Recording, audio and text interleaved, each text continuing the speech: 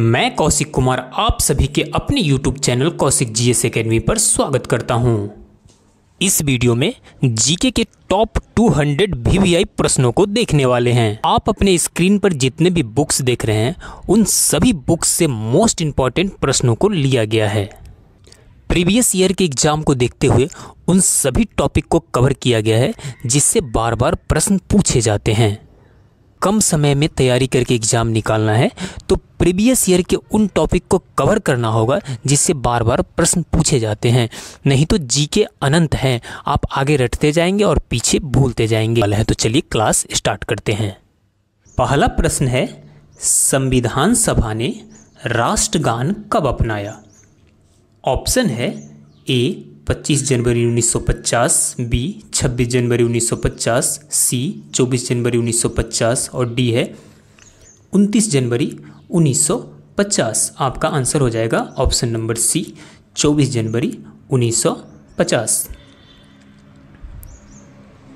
रविन्द्रनाथ टैगोर द्वारा रचित जनगणमन को राष्ट्रगान के रूप में स्वीकृति संविधान सभा ने 24 जनवरी 1950 को प्रदान की थी। नेक्स्ट अगला प्रश्न है, सूर्य से पृथ्वी तक पहुँचने में प्रकाश को कितना समय लगता है? ऑप्शन ए है, आठ घंटा बीस सेकेंड, आठ मिनट बीस सेकेंड, आठ सेकेंड और बीस सेकेंड। आंसर हो जाएगा ऑप्शन नंबर बी आठ मिनट बीस सेकेंड। सूर्य से पृथ्वी तक पहुँचने में प्रकाश को लगभग 500 सेकेंड का समय लगता है, जो 8 मिनट 20 सेकेंड के बराबर है। नेक्स्ट। अगला प्रश्न सर्वोदय और भूदान आंदोलन से कौन संबंध है? किसका संबंध है? ऑप्शन ए है आचार्य नरेंद्र देव, बी है जी के गोखले, सी है एम जी रनाडे और टी है आचार्य बिनोबा भावे आपका आंसर हो जाएगा option number D, Acharya Vinoba Bhave का संबंध सर्वोदय और भूदान आंदोलन से है। सर्वोदय और भूदान आंदोलन से आचार्य विनोबा भावे संबंधित थे। इन्होंने भूदान आंदोलन 18 अप्रैल उन्नीस सौ इक्यावन को आंध्र प्रदेश के पोचमपल्ली से प्रारंभ किया था। अगला प्रश्न है, संसद के दोनों सदनों में से किसी एक सदन में न्यूनतम कितने सदस्य होने अनिवार्य है, जिससे सदन की कार्यवाही चलती रहे? तो न्यूनतम कम से कम कितना सदस्य होना चाहिए जिससे कार्यवाही चले? कितना है? कुल सदस्य का कम से कम दसवा भाग। ऑप्शन नंबर आपका डी राइट हो जाएगा। अगला प्रश्न है, काले बन पाए जाते हैं। ऑप्शन ए है फ्रांस, बी है जर्मनी, सी है चेकोस्लोवाकिया और डी है रोमानिया। तो काले बन पाए जाते हैं जर्मनी में ऑप्शन नंबर आपका बी राइट हो जाएगा। देखिए कि काले बन ब्लैक फॉरेस्ट, जर्मनी स्थित एक पर्वत श्रृंखला है। इसकी सर्वोच्च चोटी फेल्डवर्ग है। यूरोप की प्रसिद्ध डिन्यूब नदी यहाँ से उद्गमित होती है। आप व्याख्या को भी अपने ध्यान में रखिएगा। अगला प्रश्न निम्न में से किसको लाल ग्रह कहा जाता है? तो लाल ग्रह कहा जाता है, आपका ऑप्शन नंबर सी हो जाएगा, मंगल को। किसे कहा जाता है? मंगल ग्रह को। सूर्य से दूरी के क्रम में चौथा तथा आकार की दृष्टि से सातवां स्थान मंगल ग्रह का है। इसकी छवि लाल रंग जैसी दिखती है, इसीलिए इसे लाल ग्रह कहा जाता है। अगला प्रश्न है, नीली क्रांति ब्लू रिवॉल्यूशन संबंधित है। तो नीली क्रांति का संबंध है, ऑप्शन नंबर ए, मछली उत्पादन से। किससे? मछली उत्पादन से। नीली क्रांति का संबंध मछली उत्पादन से है, जबकि श्वेत क्रांति का संबंध दुग्ध उत्पादन से है। पीली क्रांति का संबंध देख सकते हैं, तिलहन उत्पादन से है, और हरित क्रांति का संबंध खाद्यान्न उत्पादन से है। ये सारा भी भी है, पीली क्रांति। और यहाँ पे हरित क्रांति, ये सब याद रखिएगा आप। नेक्स्ट अगला प्रश्न है, भारत में किस राज्य को धान का कटोरा कहते हैं? Option A Kerala, B, Karnataka, C, Andhra Pradesh और डी, तमिलनाडु। तो धान का कटोरा कहा जाता है आंध्र प्रदेश को। ऑप्शन नंबर आपका सी राइट हो जाएगा। उपर्युक्त राज्यों में से आंध्र प्रदेश को भारत का धान का कटोरा कहा जाता है। यहाँ की फ़सल का 77 प्रतिशत से अधिक चावल की पैदावार होती है। नेक्स्ट अगला है, ताजमहल के वास्तुकार कौन थे? तो ताजमहल के वास्तुकार माना जाता है अहमद लाहौरी को। Ustad Ahmad Lahori option number A आपका राइट हो जाएगा। ताजमहल भारत के आगरा शहर में स्थित एक विश्व धरोहर मकबरा है। इसका निर्माण मुगल सम्राट शाहजहां ने अपनी पत्नी मुमताज़ महल की याद में करवाया था। ताजमहल के वास्तुकार उस्ताद अहमद लाहौरी थे। कौन थे? उस्ताद अहमद लाहौरी। अगला प्रश्न। नमक सत्याग्रह कहाँ पर समाप्त हुआ था? तो नमक सत्याग्रह समाप्त हुआ था। ऑप्शन नंबर ए राइट हो जाएगा। दांडी में। कहाँ पे? दांडी में।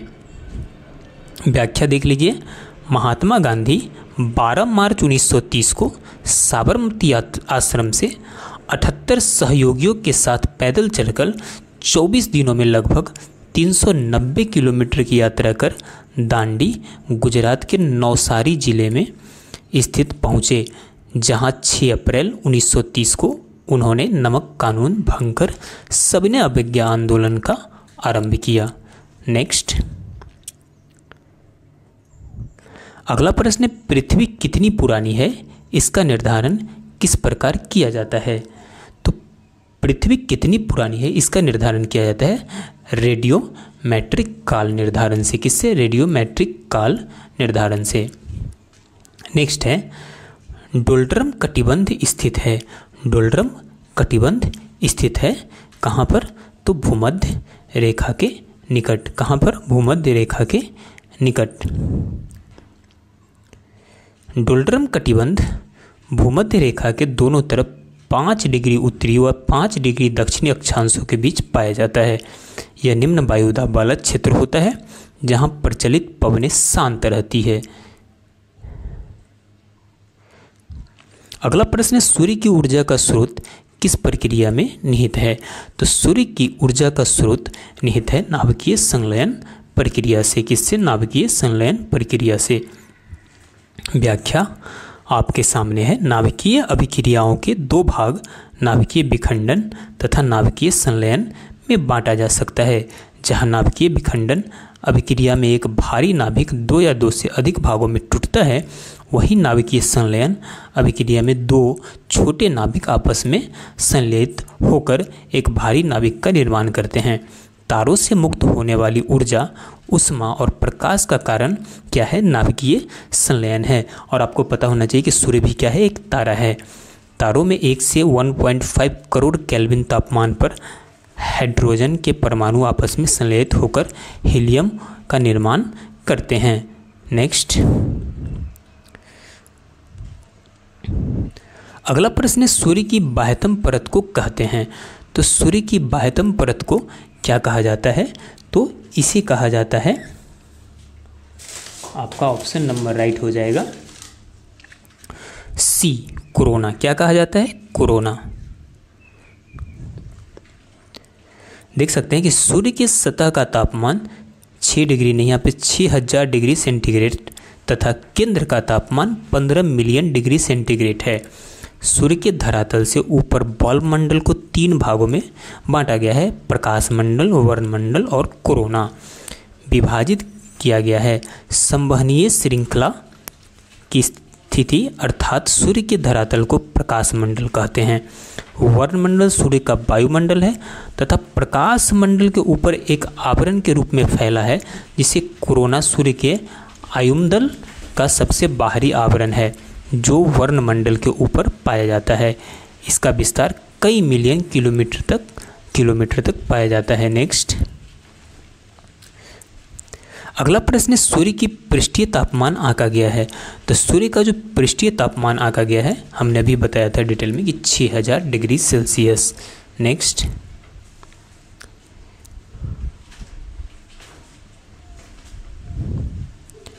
अगला प्रश्न है, सूर्य की पृथ्वी से लगभग दूरी मिलियन किलोमीटर में कितनी है? तो लगभग है, लगभग यहाँ पे 150 मिलियन किलोमीटर में आपका आ जाएगा। जो आपका परफेक्ट है वह है सूर्य की पृथ्वी से लगभग दूरी एक मिलियन किलोमीटर है। अतः निकटतम सही उत्तर विकल्प ए होगा। नेक्स्ट अगला प्रश्न पृथ्वी के नज़दीक कौन सा तारा है? तो पृथ्वी के सबसे नज़दीक तारा है, वो है कौन? सूर्य। ऑप्शन नंबर ए आपका राइट हो जाएगा। पृथ्वी के सर्वाधिक निकट सूर्य तारा है, सौरमंडल के बाहर। पृथ्वी के सबसे निकटतम तारे का नाम है प्रोक्सिमा सेंचुरी यानी सूर्य के बाद जो सबसे निकटतम तारा है, वो कौन है? प्रोक्सिमा सेंचुरी नेक्स्ट अगला प्रश्न है, चिपको आंदोलन किससे संबंधित है? ऑप्शन ए है वन्यजीव संरक्षण, बी है वन संरक्षण, सी है वैज्ञानिक कृषि और डी है वनोन्मूलन तो चिपको आंदोलन का संबंध है वनोन्मूलन से। ऑप्शन नंबर डी आपका राइट हो जाएगा। देख सकते हैं सुंदरलाल बहुगुणा द्वारा चलाया गया चिपको आंदोलन वन संरक्षण से संबंधित है। आप इसका व्याख्या 100 परसेंट ध्यान में रखिएगा, क्योंकि सभी प्रश्न उससे रिलेटेड भी महत्वपूर्ण है। नेक्स्ट है, चंदन के पेड़ों के लिए किस प्रकार का जंगल उपयुक्त है? तो चंदन के पेड़ों के लिए जो उपयुक्त जंगल है, वो है उष्ण कटिबंधीय पर्णपाती वन नेक्स्ट चंदन के पेड़ों के लिए उष्ण कटिबंधीय पर्णपाती वन सर्वाधिक उपयुक्त है। चंदन के पेड़ भारत के कर्नाटक राज्य में प्रमुख रूप से क्या होता है? पाया जाता है। अगला प्रश्न। अगला प्रश्न भारत में प्रथम जैव मंडल रिज़र्व की स्थापना कहाँ हुई थी? तो भारत में प्रथम जैव मंडल रिज़र्व की स्थापना हुई थी नीलगिरी क्षेत्र में। कहाँ हुई थी? नीलगिरी क्षेत्र में। ऑप्शन नंबर ए राइट हो जाएगा। भारत में प्रथम जैव मंडल रिज़र्व उन्नीस सौ छियासी ईस्वी में दक्षिणी पश्चिमी घाट तमिलनाडु, कर्नाटक, केरल में संयुक्त रूप से नीलगिरी क्षेत्र में स्थापित किया गया। इसका कुल क्षेत्रफल पचपन वर्ग किलोमीटर है। इस क्षेत्र में Mukurthi Bandipur Nagarhole, Wayanad national park स्थित है। अगला प्रश्न। अगला प्रश्न, भारत भारत में पीली क्रांति का संबंध है। तो हमने पिछले क्वेश्चन में बताया था पीली क्रांति का संबंध तिलहन उत्पादन से। ऑप्शन नंबर बी राइट हो जाएगा। नीली क्रांति का संबंध मछली उत्पादन से है, जबकि श्वेत क्रांति का संबंध दुग्ध उत्पादन से है, पीली क्रांति का संबंध तिलहन उत्पादन से है, और हरित क्रांति का संबंध खाद्यान्न उत्पादन से है। नेक्स्ट अगला प्रश्न है, सबसे ऊँचा भारतीय जलप्रपात कौन सा है? तो सबसे ऊँचा भारतीय जलप्रपात है, यहाँ पर आपका जो ऑप्शन में दिया हुआ है, गरसोप्पा। कौन सा है? गरसोप्पा।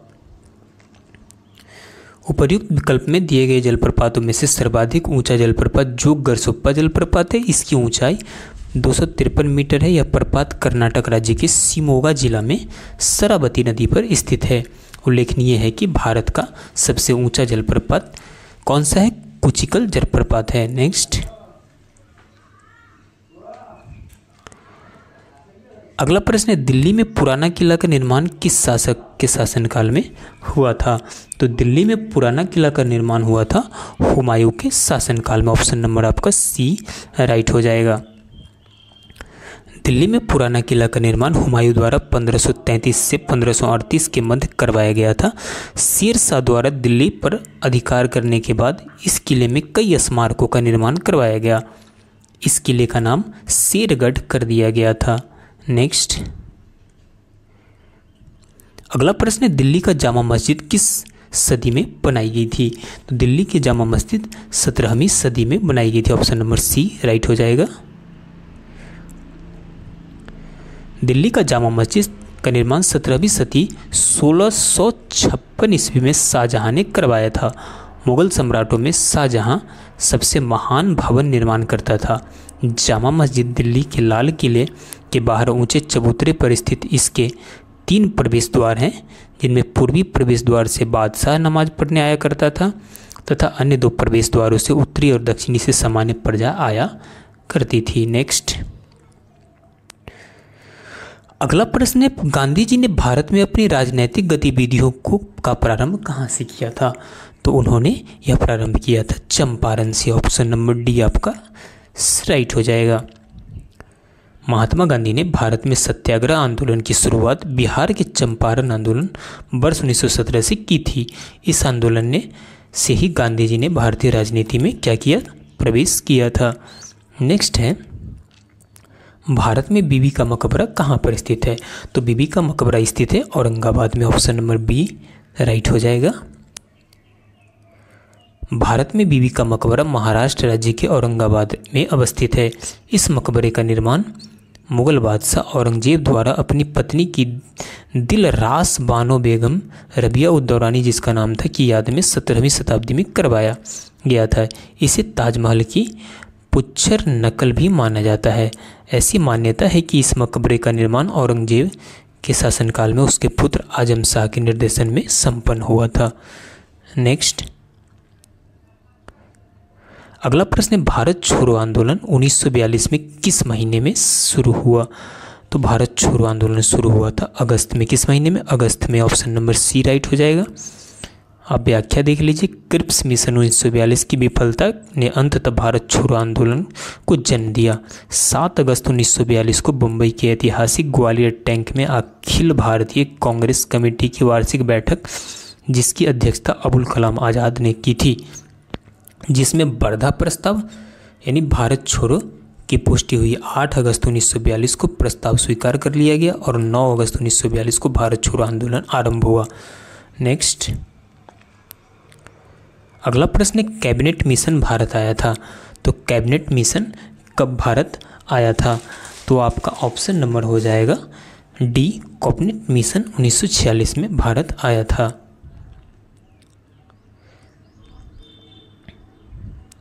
लॉर्ड पैंथिक लॉरेंस के नेतृत्व में मार्च 1946 में कैबिनेट मिशन भारत आया था। इसके अन्य दो सदस्य थे, स्टैमफोर्ड, क्रिप्स एवं ए बी अलेक्जेंडर। अगला प्रश्न। अगला प्रश्न है सुभाष चंद्र बोस किसके, किसे हराकर पार्टी के अध्यक्ष चुने गए थे? तो सुभाष चंद्र बोस किसे हराए थे? तो सुभाष चंद्र बोस द्वारा हराया गया था। पट्टाभी सीता रमैया को किसे हराया गया था? पट्टाभी सीता रमैया को। ऑप्शन नंबर आपका बी राइट हो जाएगा। त्रिपुरी में जनवरी उन्नीस में सुभाष चंद्र बोस ने गांधी जी समर्थित पट्टाभी सीतारमैया को हराकर कांग्रेस पार्टी के अध्यक्ष का चुनाव जीता। लेकिन गांधी जी के असहयोग कारण अप्रैल उन्नीस में उन्होंने कांग्रेस का अध्यक्ष पद से त्यागपत्र दे दिया। इसके बाद राजेंद्र प्रसाद को कांग्रेस का अध्यक्ष बनाया गया। नेक्स्ट।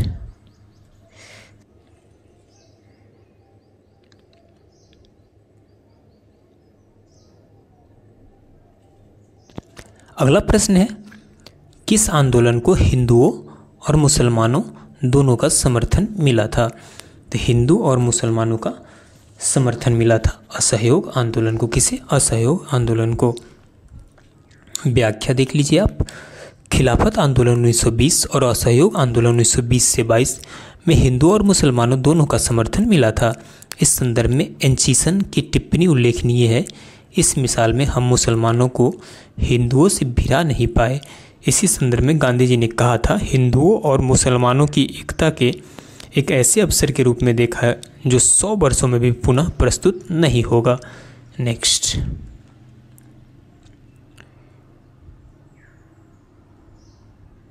अगला प्रश्न, चौरी चौरा कांड के बाद गांधी जी ने स्थगित कर दिया।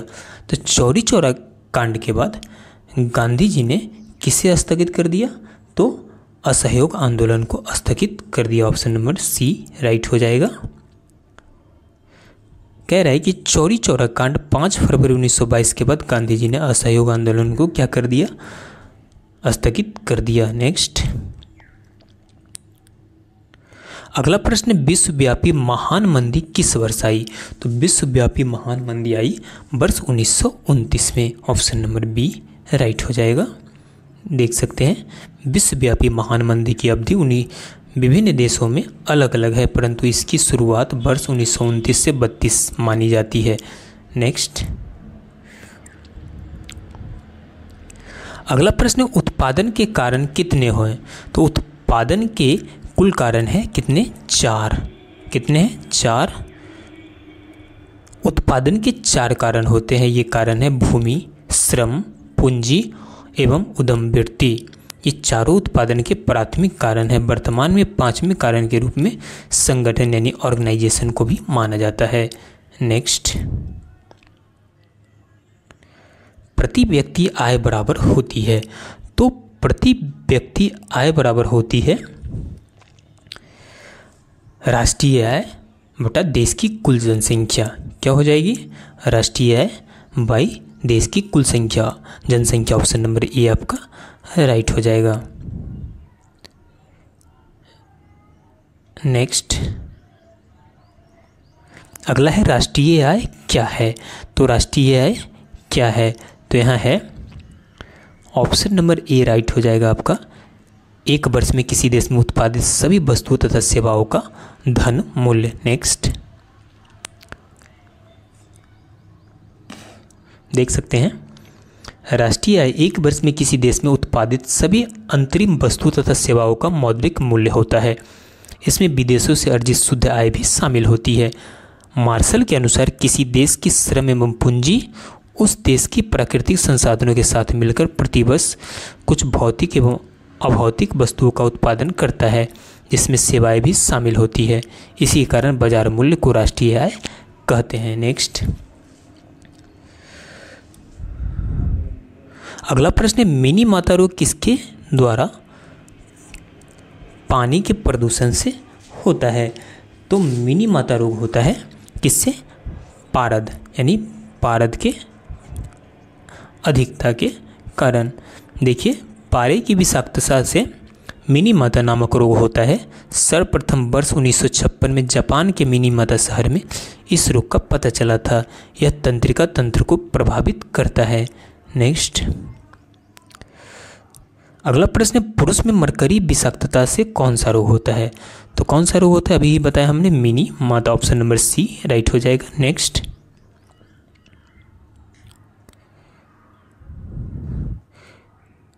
अगला प्रश्न निम्नलिखित में से किसकी उपस्थिति के कारण गिरगिट रंग बदलते हैं? तो गिरगिट जो है, रंग बदलते हैं वर्ण की लवक के उपस्थिति के कारण। व्याख्या देख लीजिए आप। गिरगिट की ऊपरी त्वचा पारदर्शी होती है, जिसके नीचे विशेष कोशिकाओं की परतें होती है, जिनकी वर्णनी लवक, वर्ण की लवक कहा जाता है। इनकी उपस्थिति के कारण गिरगिट रंग बदलता रहता है। नेक्स्ट। अगला प्रश्न है, एक कीट कितने पैर होते हैं? तो एक कीट के कुल छः पैर होते हैं। ऑप्शन नंबर डी राइट हो जाएगा। नेक्स्ट। व्याख्या देख सकते हैं। जीव वैज्ञानिकों के अनुसार जीव जगत में सबसे अधिक संख्या कीटों की है। ये आर्थोपोडस संख्या अंतर्गत आते हैं। इनमें तीन जोड़ी अर्थात छः पैर होता है। अगला प्रश्न है, एंटीबायोटिक क्या है? तो एंटीबायोटिक क्या है? यह है, ऑप्शन नंबर बी राइट हो जाएगा। किसी सूक्ष्म जीव द्वारा संश्लेषित संश्लेषित रसायन जो अन्य सूक्ष्म जीवों से क्या करता है? हमारी रक्षा करता है। नेक्स्ट। अगला प्रश्न, प्रतिरक्षण तकनीक का विकास किसने किया था? तो प्रतिरक्षण तकनीक का विकास किया था एडवर्ड जेनर के द्वारा। किसके द्वारा किया गया था? एडवर्ड जेनर के द्वारा। नेक्स्ट। अगला प्रश्न, जीवाणु की खोज किसने की थी? तो जीवाणु की खोज की थी ऑप्शन नंबर आपका। कौन सा हो जाएगा? ए हो जाएगा, Antonie van, Leeuwenhoek. Next.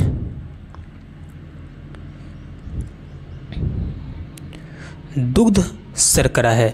तो दुग्ध में कौन सा शर्करा पाया जाता है? तो आप सभी को पता ही होगा कि पाया जाता है लैक्टोज नेक्स्ट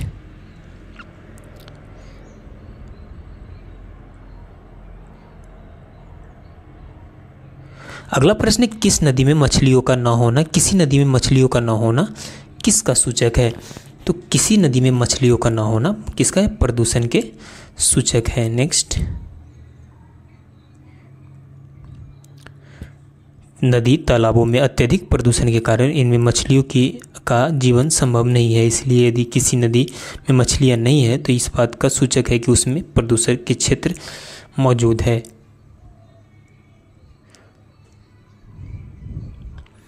अगला अगला प्रश्न गाजर का रंग किसकी मौजूदगी के कारण ऐसा होता है? तो गाजर का रंग जो लाल होता है, वो कैरोटीन की मौजूदगी के कारण होता है। नेक्स्ट। बाँस एक तरह की है तो बाँस एक तरह का घास है। घास के श्रेणी में रखा गया है।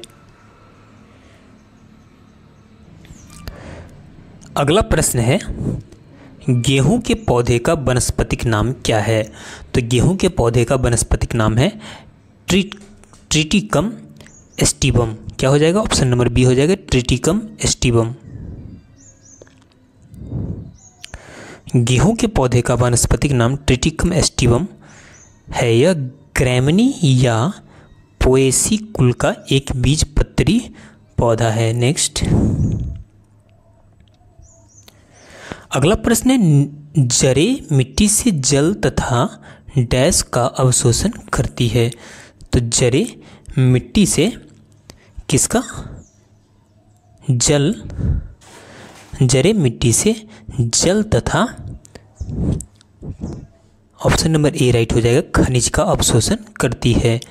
नेक्स्ट जरे बीज में स्थित भूरन के मूलांकुर से विकसित होती है। इनके शीर्ष पर एक टोपी जैसी संरचना पाई जाती है, जिसे मूलगोप कहते हैं। जरे मिट्टी से जल तथा खनिज का अवशोषण करता है। नेक्स्ट अगला प्रश्न है, टिक्का रोग निम्नलिखित में से किस फ़सल से संबंधित है? तो टिक्का रोग का संबंध है, मूंगफली से। किससे? ऑप्शन नंबर डी, राइट हो जाएगा। टिक्का रोग मूंगफली की फ़सल से संबंधित बीमारी है। इसमें पौधे की पत्तियों पर धब्बे बन जाते हैं। यह बीमारी सर्कोसोपोरा और परसोनेटा तथा सर्कोस्पोरा एरेकीडिकोला नामक कवकों द्वारा होता है। अगला प्रश्न। जब कोई वस्तु पृथ्वी से चंद्रमा पर स्थानांतरित किया जाता है तो क्या फ़र्क पड़ता है? तो क्या होता है कि इसका?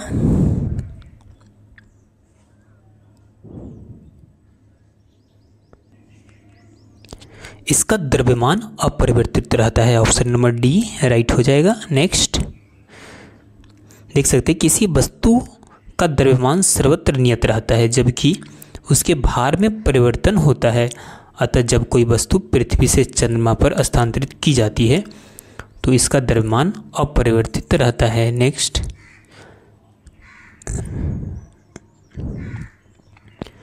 अगला प्रश्न है, निम्नलिखित में से केवल अधिस राशि है तो इसमें अधिस राशि है केवल ऊर्जा। कौन है? ऊर्जा।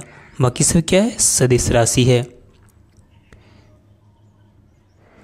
जिन राशियों को पूर्णतः निरूपित करने के लिए केवल परिमाण की आवश्यकता होती है, दिशा की नहीं, उन्हें अधिस राशि कहते हैं, जैसे समय, चाल, द्रव्यमान, कार्य, ऊर्जा, कोण, आवेश तथा आयतन। ये सब क्या है? अधिस राशि है। नेक्स्ट अगला प्रश्न है फोटोग्राफी में मुख्य रंग कौन सा होता है? तो फोटोग्राफी में जो मुख्य रंग होता है, वो होता है लाल, नीला, हरा। ऑप्शन नंबर सी आपका राइट हो जाएगा। नेक्स्ट। अगला प्रश्न है, वाटर पोलो में हर टीम में खिलाड़ियों की संख्या होती है? तो वाटर पोलो के हर टीम में खिलाड़ियों की संख्या कितनी होती है? सात। ऑप्शन नंबर ए करेक्ट हो जाएगा। यहाँ पे देख लीजिए, थोड़ा खिलाड़ियों की संख्या क्रिकेट, फुटबॉल और हॉकी में खिलाड़ियों की संख्या कितना होता है? ग्यारह होता है एक टीम में। रग्बी, फुटबॉल में पंद्रह होता है। बेसबॉल एवं खो खो में नौ। नेटबॉल एवं वाटर पोलो में सात। वॉलीबॉल में छः और बास्केटबॉल में कितना होता है? एक टीम में पाँच। पोलो में चार। पोलो में चार होता है और टेनिस और बैडमिंटन में एक या दो होता है। नेक्स्ट। अगला प्रश्न है, थॉमस कप का संबंध किस खेल से है? तो थॉमस कप का संबंध है ऑप्शन नंबर डी, बैडमिंटन से। किससे? बैडमिंटन से। व्याख्या देख लीजिए। पुरुषों की बैडमिंटन प्रतियोगिता की ट्रॉफी थॉमस कप है, जबकि उबेर कप का संबंध है महिला टेनिस से। नेक्स्ट। अगला प्रश्न है, भारत का फ्लाइंग सिख किसे कहा जाता है? तो भारत का फ्लाइंग सिख कहा जाता है मिल्का सिंह को। ऑप्शन नंबर डी, राइट हो जाएगा। अगला प्रश्न, निम्नलिखित में से कौन हरियाणा हरिकेन के नाम से प्रसिद्ध है? तो हरियाणा हरिकेन के नाम से प्रसिद्ध है, option number C, Kapil Dev. पूर्व भारतीय क्रिकेट खिलाड़ी कपिल देव को हरियाणा हरिकेन के नाम से भी जाना जाता था। उल्लेखनीय है कि इन्हीं के नेतृत्व में वर्ष उन्नीस तिरासी में भारतीय क्रिकेट टीम ने पहली बार विश्व कप जीता था। नेक्स्ट। अगला प्रश्न है आईसीसी का प्रथम टी ट्वेंटी विश्व कप प्रतियोगिता किसने जीता था? आईसीसी का प्रथम टी ट्वेंटी विश्व कप प्रतियोगिता जीता था। भारत ने किसने जीता था? भारत ने। देख लीजिए, वर्ष 2007 में आईसीसी 2020 विश्व कप का आयोजन दक्षिण अफ्रीका में हुआ था। भारत ने फाइनल मुकाबले में पाकिस्तान को पाँच रनों से पराजित किया था। नेक्स्ट। अगला प्रश्न, आगा खां कप निम्नलिखित में से किस खेल से संबंधित है? तो आगा खां कप का संबंध है किससे? हॉकी से। ऑप्शन नंबर आपका बी राइट हो जाएगा। अगला प्रश्न, देख लीजिए। आगा खां कप भारत की राष्ट्रीय हॉकी की एक प्रतियोगिता है। Nehru trophy Rangaswamy cup, Beighton cup अजलानसा cup, Abdullah cup lady Ratan Tata trophy, Dhyanchand trophy, Kuppuswamy trophy आदि हॉकी की अन्य महत्वपूर्ण ट्रॉफियाँ हैं तो आप इसे ध्यान में रखिएगा। अगला प्रश्न है, भोपाल गैस त्रासदी में उत्सर्जित गैस कौन सी थी? तो जो गैस उत्सर्जित थी वो थी मिथाइल आइसोसाइनाइट कौन थी? मिसाइल, मिथाइल आइसोसाइनेट नेक्स्ट। अगला प्रश्न है, आर्यभट्ट को कहाँ से छोड़ा गया था? ऑप्शन है श्रीहरिकोटा, मही, चांदीपुर, इनमें से कोई नहीं। आपका आंसर हो जाएगा, इनमें से कोई नहीं। देखते हैं कहाँ से छोड़ा गया था। भारत का अंतरिक्ष में प्रक्षेपित प्रथम उपग्रह आर्यभट्ट है। इसका प्रक्षेपण तत्कालीन सोवियत संघ के वाल्गोग्राद प्रक्षेपण केंद्र से कास्मोस थ्री एम रॉकेट द्वारा 19 अप्रैल 1975 को किया गया था। नेक्स्ट अगला है व्हीलर द्वीप स्थित है। तो व्हीलर द्वीप स्थित है ऑप्शन नंबर ए राइट हो जाएगा उड़ीसा तट से परे। देख लीजिए इसका डिटेल व्हीलर द्वीप उड़ीसा तट से परे स्थित है। यह उड़ीसा वर्तमान उड़ीसा की राजधानी भुवनेश्वर से लगभग 150 किलोमीटर दूर। भारत की मिसाइल प्रक्षेपण सुविधा इस द्वीप पर क्या है? स्थित है। नेक्स्ट अगला प्रश्न तंजानिया की राजधानी है। तो तंजानिया की राजधानी है, इसमें से कोई नहीं होगा आंसर। तंजानिया की राजधानी है डोडोमा। क्या है? डो, डोमा, याद रखिएगा, डोडोमा। नेक्स्ट।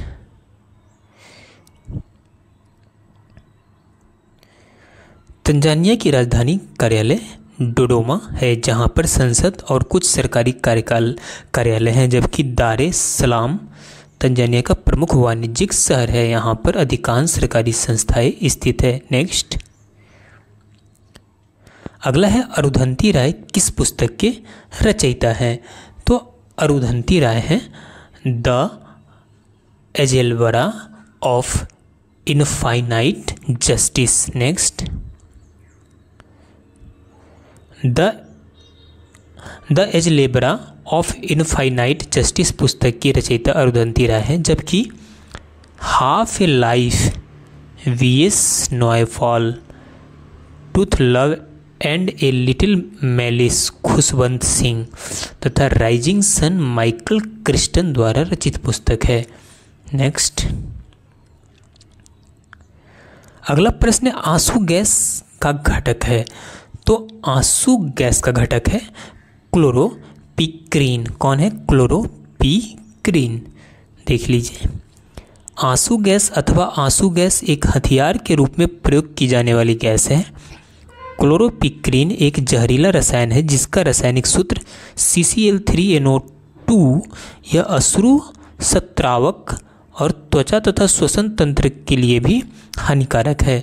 ब्रोमोएसीटोन, जाइलिल ब्रोमाइड आदि प्रमुख अश्रु गैसे हैं? नेक्स्ट अगला प्रश्न वायुमंडल में सबसे प्रचुर अक्रिय गैस कौन सा है? तो वायुमंडल में सबसे प्रचुर अक्रिय गैस है वह है आपका ऑर्गन। कौन है? ऑर्गन। नेक्स्ट रेडॉन को छोड़कर अन्य सभी उत्कृष्ट गैसें वायुमंडल में पाई जाती है, जिसमें ऑर्गन सबसे अधिक मात्रा में पाई जाती है। इसकी खोज रेले ने की थी। किसने की थी? रेले ने नेक्स्ट अगला प्रश्न है, एल्युमिनियम को शुद्ध किया जा सकता है। तो एल्युमिनियम को शुद्ध किया जाता है विद्युत अपघटन के द्वारा। किसके द्वारा? विद्युत अपघटन के द्वारा। नेक्स्ट एल्युमिनियम का संशोधन विद्युत अपघटनी विधि, हुप विधि हुप विधि द्वारा होता है। इसमें सोडियम, बोरियम और एल्युमिनियम के फ्लूराइडों का गलित मिश्रण बहुत विद्युत अपघटय का कार्य करता है। नेक्स्ट अगला प्रश्न, हीरे का एक कैरेट किसके बराबर होता है? तो हीरे का एक कैरेट होता है 200 हंड्रेड बराबर। के बराबर नेक्स्ट। निम्नलिखित में से किसको पेंसिलों में प्रयुक्त किया जाता है? तो पेंसिल में प्रयुक्त किया जाता है ऑप्शन नंबर बी ग्रेफाइट को।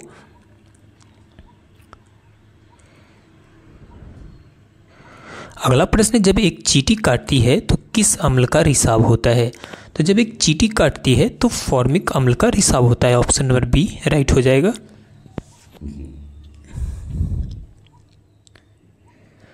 चीटियों के काटने पर इनके डंग से निकलने वाले विष में फॉर्मिक अम्ल पाया जाता है, जिसके कारण काटे जाने वाले स्थान पर त्वचा में हल्की जलन होने लगती है। फॉर्मिक अम्ल एक कमज़ोर कार्बनिक अम्ल है जो प्राकृतिक रूप से मधुमक्खी एवं चीटी के डंक में पाया जाता है। नेक्स्ट। अगला प्रश्न है, मुगल शासकों की दरबारी भाषा थी। तो मुगल शासकों की दरबारी भाषा थी Farsi, option number C, right हो जाएगा। मुगल शासकों की दरबारी अथवा राजभाषा फारसी थी। अकबर द्वारा स्थापित अनुवाद विभाग में संस्कृत, अरबी तुर्की एवं ग्रीक भाषाओं की अनेक कृतियों का अनुवाद फारसी भाषा में किया गया था। नेक्स्ट महात्मा गांधी के राजनीतिक गुरु कौन थे? तो महात्मा गांधी के राजनीतिक गुरु थे Gopal Krishna Gokhale. Option number A right हो जाएगा। महात्मा गांधी के राजनीतिक गुरु गोपाल कृष्ण गोखले थे। 9 जनवरी 1915 में दक्षिण अफ्रीका से भारत लौटने पर गांधी जी गोखले के संपर्क में आए और इनके प्रभाव में आकर ही गांधी जी ने स्वयं को भारत का सक्रिय राजनीतिक से जोड़ा। नेक्स्ट। निम्नलिखित में से कौन ज़िंदा पीर के नाम से जाना जाता है? तो ज़िंदा पीर के नाम से जाना जाता है option number D Aurangzeb. Next. Aurangzeb जो कुछ दूसरे पर लागू करना चाहता था, जो सब कुछ दूसरे पर लागू करना, उसका स्वयं अभ्यास करता था। उसके व्यक्तिगत जीवन का नैतिक स्तर ऊँचा था तथा वह अपने युग के प्रचलित पापों से दृढ़तापूर्वक अलग रहता था। इस प्रकार उसके समकालीन उसे शाही दरवेश समझते थे तथा मुसलमान उसे ज़िंदा पीर के रूप में मानते थे। नेक्स्ट अगला प्रश्न है, सत्याग्रह शब्द का निर्माण किसने किया था? तो सत्याग्रह शब्द का निर्माण किया था गांधी जी ने। किसने? गांधी जी ने। नेक्स्ट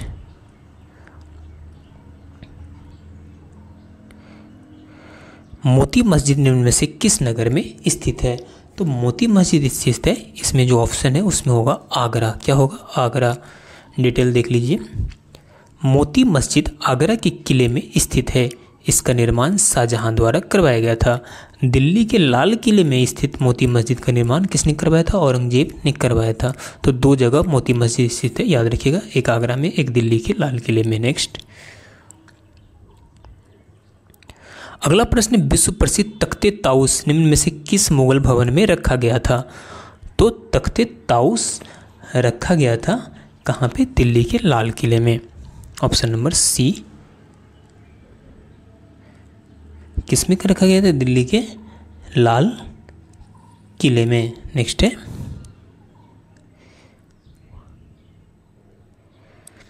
दिल्ली के लाल किले में निर्मित दीवान आम में, इसके पीछे की दीवार में बने एक कोष्ठ में विश्व प्रसिद्ध तख्ते ताउस रखा जाता था। अगला प्रश्न। शाहजहां का प्रसिद्ध तख्त ताउस सत्रह में कौन ले गया? तो इसे ले गया कौन? तो इसे ले गया फारसी आक्रामक नादिर शाह ने। किसने ले गया? फारसी आक्रामक नादिर शाह ने। सत्रह सौ उनचालीस में इसे लूट कर क्या कर लिया? ले गया। देख लीजिए, फारसी आक्रामक नादिर शाह ने उत्तरकालीन मुगल शासक मोहम्मद सारंगीला के शासनकाल में सत्रह में दिल्ली पर आक्रमण किया था। वो अपने साथ शाहजहां का प्रसिद्ध तख्त ताउस भी ले गया था। नेक्स्ट। अगला प्रश्न, किस मुगल बादशाह ने मुगल राजधानी आगरा से दिल्ली स्थानांतरित किया? तो आगरा से दिल्ली स्थानांतरित करने वाला मुगल शासक था कौन? Shahjahan. Option number C, right हो जाएगा। मुगल बादशाह शाहजहां ने मुगल साम्राज्य की राजधानी आगरा से दिल्ली स्थानांतरित की थी। इसने अपने नाम पर एक नवीन राजधानी शाहजहानाबाद की दिल्ली में नींव डाली। नवनिर्मित नगर का प्रमुख आकर्षक लाल किला के नाम से प्रसिद्ध महल दुर्ग था। नेक्स्ट अगला प्रश्न, कौन से गोलमेज सम्मेलन में महात्मा गांधी ने भाग लिया था? तो महात्मा गांधी ने भाग लिया था किसमें तो द्वितीय गोलमेज सम्मेलन 1931 में। नेक्स्ट द्वितीय गोलमेज सम्मेलन लंदन में 7 सितंबर 1931 से 1 दिसंबर 1931 तक चला। जिसमें महात्मा गांधी कांग्रेस के एकमात्र प्रतिनिधि के रूप में सम्मिलित हुए थे। यह सम्मेलन सांप्रदायिक समस्या पर विवाद के कारण पूरी तरह असफल रहा। दलित नेता भीमराव अंबेडकर ने दलितों के लिए पृथक निर्वाचन मंडल की मांग की, जिसे गांधी जी ने स्वीकार कर दिया। अंततः सांप्रदायिक प्रतिनिधित्व पर गतिरोध के कारण यह सम्मेलन 1 दिसंबर 1931 को समाप्त घोषित कर दिया गया। नेक्स्ट। अगला प्रश्न गांधी इरविन समझौते पर हस्ताक्षर कब हुए? तो गांधी इरविन समझौते पर हस्ताक्षर हुए कब? 5 मार्च 1931 को। गांधी इरविन समझौते 5 मार्च 1931 सविनय अवज्ञा आंदोलन से संबद्ध है। इस समझौते की प्रमुख शर्तें इस प्रकार थी। पहला था सरकार द्वारा सभी अध्यादेशों एवं अपूर्ण अभियोगों को मामले को वापस लिया जाए। दूसरा था हिंसात्मक कार्यों में लिप्त अभियुक्तों के अतिरिक्त सभी राजनीतिक कैदियों को मुक्त किया जाए। तीसरा था कांग्रेस व उनके कार्यकर्ताओं की जब्त संपत्ति वापस किए जाए। चौथा था समुद्र के किनारे बसने वाले लोगों को नमक बनाने व उसे एकत्रित करने की छूट दिया जाए। नेक्स्ट। अगला प्रश्न, चित्रकारी किसके शासनकाल के दौरान अपने उच्चतम पर पहुँची? तो यह पहुँची थी जहांगीर के शासनकाल में। मुगल सम्राटों में जहांगीर के समय में चित्रकारी अपने उच्चतम स्तर पर पहुँची थी। जहांगीर ने हेरात के चित्रकार अकारिजा के नेतृत्व में आगरा में एक चित्रशाला की स्थापना की थी। जहांगीर के समय के प्रमुख चित्रकार थे दौलत मनोहर, फारूक बेग बिसनदास अबुल हसन एवं मंसूर। नेक्स्ट। अगला प्रश्न, बाल गंगाधर तिलक किसे अपना राजनीतिक गुरु मानते थे? तो बाल गंगाधर तिलक दादा भाई नेहरू जी का अपना राजनीतिक गुरु मानते थे।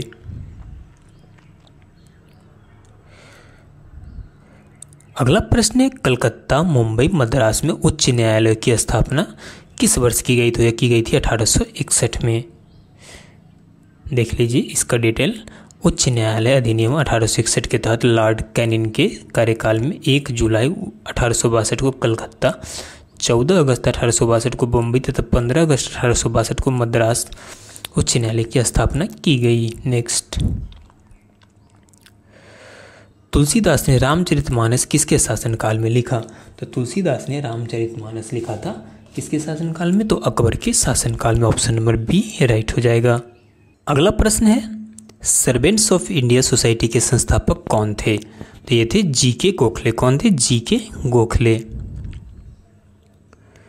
भारत सेवक समाज सर्वेंट्स ऑफ़ इंडिया सोसाइटी के स्थापना गोपाल कृष्ण गोखले ने पुणे, महाराष्ट्र में 12 जून 1905 में की थी। नेक्स्ट जब ईस्ट इंडिया कंपनी का गठन हुआ था, उस समय भारत का मुगल बादशाह कौन था? तो जब ईस्ट इंडिया कंपनी का गठन हुआ था उस समय भारत का मुगल बादशाह था अकबर। नेक्स्ट जब ईस्ट इंडिया कंपनी का गठन 31 दिसंबर सोलह सौ ईस्वी को रानी एलिजाबेथ प्रथम के समय हुआ था, उस समय भारत का मुगल बादशाह अकबर था।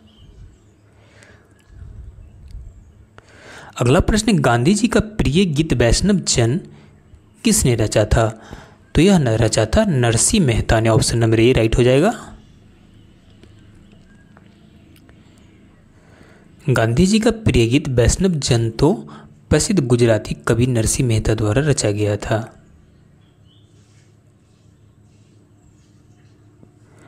अगला है रविन्द्रनाथ टैगोर को गीतांजलि। डैश का संग्रह गीतांजलि कविताओं का संग्रह है। गीतांजलि रविन्द्रनाथ टैगोर की कविताओं का संग्रह है जिसे वर्ष 1913 में नोबेल पुरस्कार प्राप्त हुआ था। गीतांजलि शब्द गीत और अंजलि से मिलकर बना है, जिसका अर्थ है गीतों का उपहार। गीतांजलि मूलतः बाघ ला भाषा में स्थित है। नेक्स्ट। रविन्द्रनाथ टैगोर द्वारा लिखित गीत जन गण सर्वप्रथम जनवरी 1912 में किस नाम से प्रकाशित हुआ था? तो यह प्रकाशित हुआ था भारत भाग्य विधाता के नाम से।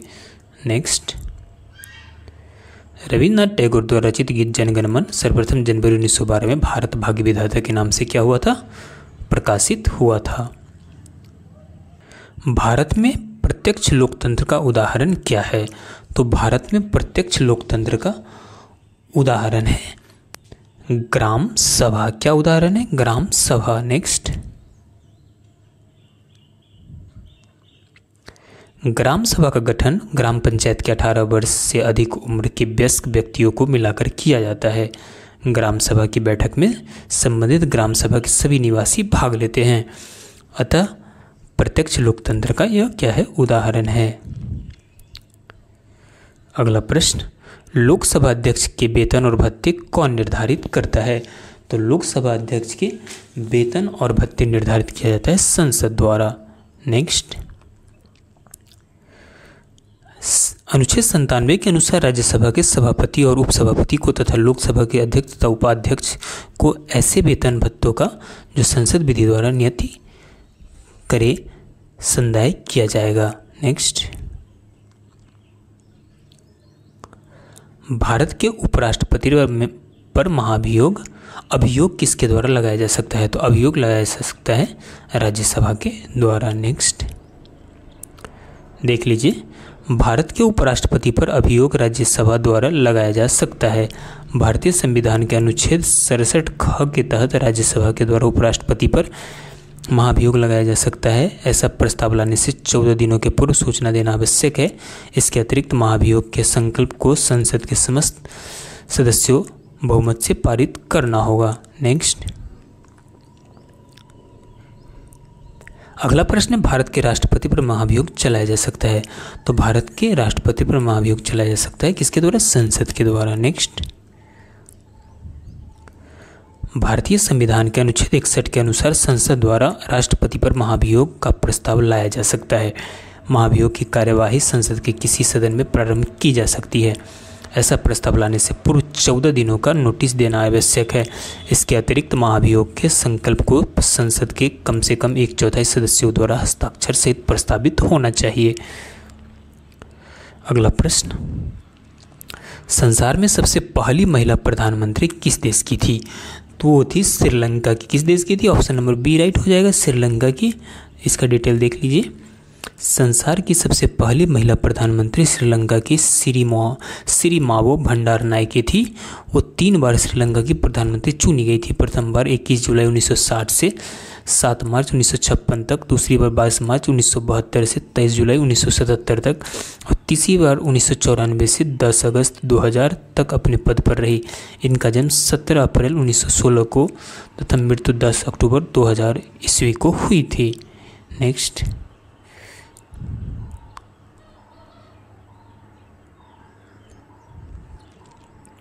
निम्नलिखित में से लोकसभा की प्रथम महिला अध्यक्ष कौन थी? तो लोकसभा की प्रथम महिला अध्यक्ष थी मीरा कुमार। कौन थी? मीरा कुमार। लोकसभा की प्रथम महिला अध्यक्ष मीरा कुमार। मीरा कुमार अध्यक्ष पद पर 4 जून 2009 से 4 जून 2014 तक रही, जबकि वर्तमान में सुमित्रा महाजन दूसरी महिला लोकसभा अध्यक्ष है। अगला है, भारत की आत्मा गाँव में निवास करती है। यह कथन किसका है? प्रीवियस प्रश्नों के बारे में बता दूँ। वर्तमान में कौन है? लोकसभा अध्यक्ष ओम बिरला है। ये थोड़ा प्रीवियस ईयर का था। भारत की आत्मा गाँव में निवास करती है। यह कथन किसका है? तो यह कथन है, किसका है?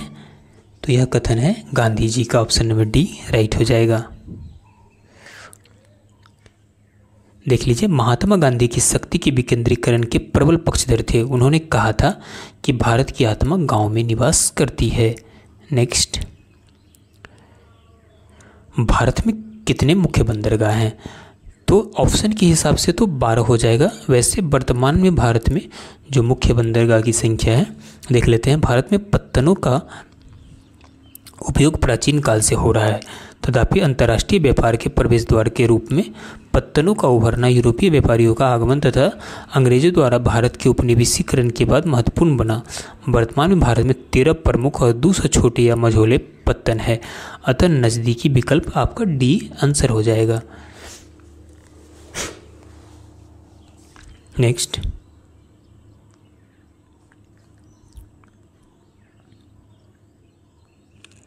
माजुली संसार का सबसे बड़ा नदी द्वीप किस राज्य में स्थित है? तो माजुली स्थित है किस राज्य में? तो असम में ऑप्शन नंबर बी राइट हो जाएगा। भारत के असम प्रांत में ब्रह्मपुत्र नदी पर स्थित माजुली विश्व का सबसे बड़ा नदी द्वीप है। अपर्दन की समस्या से ग्रस्त इस द्वीप का वर्ष उन्नीस सौ चौदह से 2008 चौरानवे वर्षों के मध्य तक लगभग दो सौ सत्ताईस दशमलव तैंतालीस वर्ग किलोमीटर क्षेत्र अपराधित हो चुका है। नेक्स्ट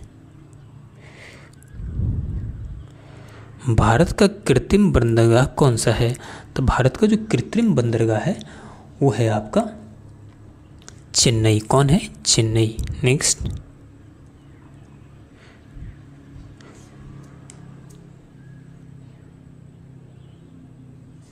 देख सकते हैं इसका डिटेल चेन्नई सबसे पुराने पत्तनों में से एक है, यह पूर्वी तट पर स्थित है। एक कृत्रिम पत्तन है। इस पत्तन से पेट्रोलियम और इसके उत्पादों, उर्वरकों लौह अयस्क और अन्य सामान्य वस्तुओं का व्यापार होता है।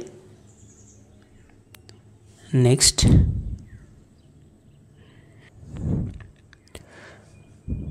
अगला प्रश्न है, पंचमढ़ी जीव संरक्षण क्षेत्र कहाँ स्थित है? पंचमढ़ी जीव संरक्षण क्षेत्र, मध्य प्रदेश में स्थित ऑप्शन नंबर सी राइट हो जाएगा। पंचमढ़ी जीव संरक्षण क्षेत्र, मध्य प्रदेश में स्थित है। इसकी स्थापना जैव संरक्षित क्षेत्र के रूप में वर्ष उन्नीस सौ निन्यानवे में की गई। यूनेस्को द्वारा वर्ष 2009 में इसे बायोस्फीयर रिज़र्व के रूप में शामिल किया गया। नेक्स्ट। अगला प्रश्न है, वर्ष 2011 की जनगणना अंतिम डाटा के अनुसार निम्नलिखित में से किस राज्यों में किस राज्य में स्त्री और पुरुष साक्षरता में सबसे अधिक अंतराल है? तो स्त्री और पुरुष साक्षरता में सबसे अधिक अंतराल है जिस राज्य में वह है राजस्थान। 2011 की जनगणना अंतिम डाटा के अनुसार उपयुक्त राज्यों में से राजस्थान राज्य में स्त्री और पुरुष साक्षरता में सबसे अधिक अंतराल है। नेक्स्ट। किस राज्य में महिला साक्षरता दर सबसे अधिक है? तो महिला साक्षरता दर सबसे अधिक है केरल राज्य में। विकल्प में दिए गए राज्यों की महिला साक्षरता दर निम्नवत है केरल बिरानवे दशमलव एक percent, Maharashtra seventy five point nine percent, Tamil Nadu seventy three point four, Paschim Bengal seventy point five. Next. Sabarimala निम्नलिखित में से किस राज्य में स्थित है? तो सबरीमाला स्थित है केरल राज्य में ऑप्शन नंबर सी राइट हो जाएगा। सबरीमाला केरल के पथनामा ठीटा ज़िले में अवस्थित है। सबरीमाला अथप्पन देव के मंदिर के लिए प्रसिद्ध है। नागा खासी और गारो पहाड़ियाँ स्थित है। यह स्थित है पूर्वांचल पर्वतमाला में। किसमें पूर्वांचल पर्वतमाला में। देख लीजिए, पूर्वांचल श्रेणी भारत के उत्तर पूर्व क्षेत्र में हिमालय तंत्र का भाग है। यह लद्दाख और काराकोरम श्रृंखला के समान है, जो हिमालय तंत्र का भाग है, किंतु हिमालय पर्वत श्रेणी से अलग श्रेणियाँ हैं। पूर्वांचल श्रेणी के अंतर्गत गारो, खासी जयंतिया पटकाई और लुसाई पहाड़ियाँ स्थित है। नेक्स्ट। कंचनजंगा राष्ट्रीय पार्क स्थित है। तो कंचनजंगा राष्ट्रीय पार्क स्थित है सिक्किम में। कहाँ पे? सिक्किम में। अगला प्रश्न सूरत किस नदी के तट पर स्थित है? तो सूरत स्थित है ताप्ती नदी के तट पर। किस नदी के तट पर स्थित है? तो ताप्ती नदी के तट पर। ताप्ती नदी का संबंध पंजाब से नहीं है। ताप्ती नदी का मध्य प्रदेश के बैतूल ज़िले के मुल्ताई नामक स्थान के पास सतपुरा श्रेणी से निकलती है। इसके बेसिन का 79 प्रतिशत भाग महाराष्ट्र में 15 परसेंट भाग मध्य प्रदेश में तथा 6 प्रतिशत भाग गुजरात में पड़ता है। यह नर्मदा के समांतर सतपुरा के दक्षिण से बहकर सूरत के निकट खम्बात की खाड़ी में गिरती है। नेक्स्ट। अगला प्रश्न, लोनार झील कहाँ स्थित है? तो लोनार झील स्थित है कहाँ पर? महाराष्ट्र में ऑप्शन नंबर सी राइट हो जाएगा। नेक्स्ट। 2011 की जनगणना के अनुसार भारत के किस राज्य की जनसंख्या सबसे कम है? तो सबसे कम जनसंख्या वाला राज्य था, कौन था? Sikkim. Option number D, right हो जाएगा। नेक्स्ट। देख लीजिए 2011 की जनगणना के अनुसार भारत के सिक्किम राज्य की जनसंख्या छः लाख सात हज़ार छः सौ अट्ठासी सबसे कम है, जबकि केंद्र शासित प्रदेश राज्यों में सबसे कम जनसंख्या लक्षद्वीप का है। नेक्स्ट। लोकटक झील स्थित है। तो लोकटक झील जो, यह कहाँ स्थित है? लोकटक झील मणिपुर में स्थित है। यह क्या है? एक झील है। देख लीजिए, लोकटक झील मणिपुर राज्य में अवस्थित है। इस पर एक जल विद्युत परियोजना निर्माण किया गया है।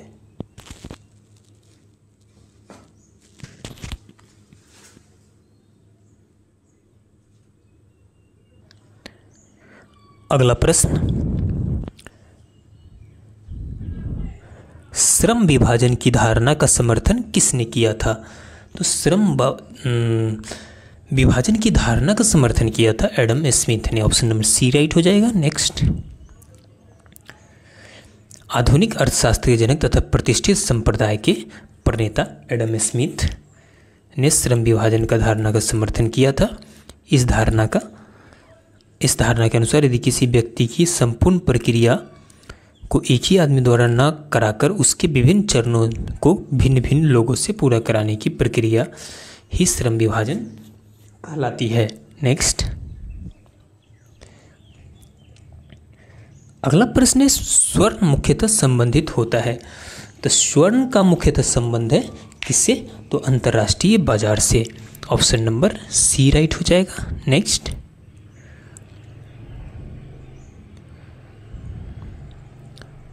अगला प्रश्न है, स्वर्णिम क्रांति किससे संबंधित है? तो स्वर्णिम क्रांति संबंधित है। यहाँ पे दो आंसर हो जाएगा, ऑप्शन नंबर बी और सी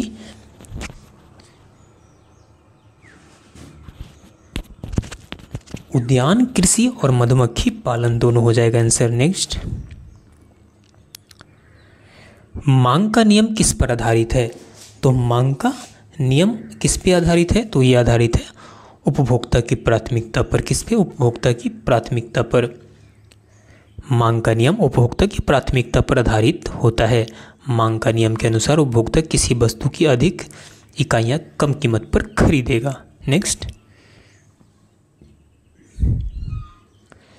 निम्न में से कौन मलेरिया पैदा करता है?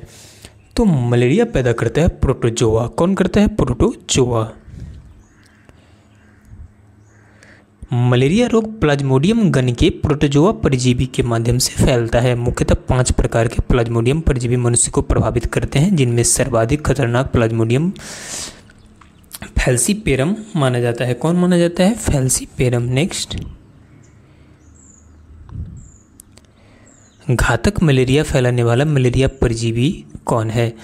तो घातक मलेरिया फैलाने वाला मलेरिया परजीवी है plasmodium falciparum. Option number B right हो जाएगा। नेक्स्ट। मलेरिया रोग प्लाज्मोडियम गण के प्रोटोजोआ परजीवी के माध्यम से फैलता है। मुख्यतः पाँच प्रकार के प्लाज्मोडियम परजीवी मनुष्य को प्रभावित करते हैं, जिनमें सर्वाधिक खतरनाक है प्लाज्मोडियम फैलसी पेरम माना जाता है। नेक्स्ट। लेप्रोसी बेसिलस का आविष्कार किया था। तो लेप्रोसी वैसिलस का आविष्कार किया था हेंसिल ने। किसने? हेंसेन ने। लेप्रोसी वैसिलस की खोज हेंसेन ने की थी, इसलिए लेप्रोसी को हेंसेन रोग भी कहा जाता है। यह माइकोबैसिलस लेप्री द्वारा फैलता है। नेक्स्ट। अगला प्रश्न, पीलिया रोग किसके संक्रमण से होता है? तो पीलिया रोग किसके संक्रमण से होता है? तो यह होता है यकृत के संक्रमण से। ऑप्शन नंबर बी, राइट हो जाएगा।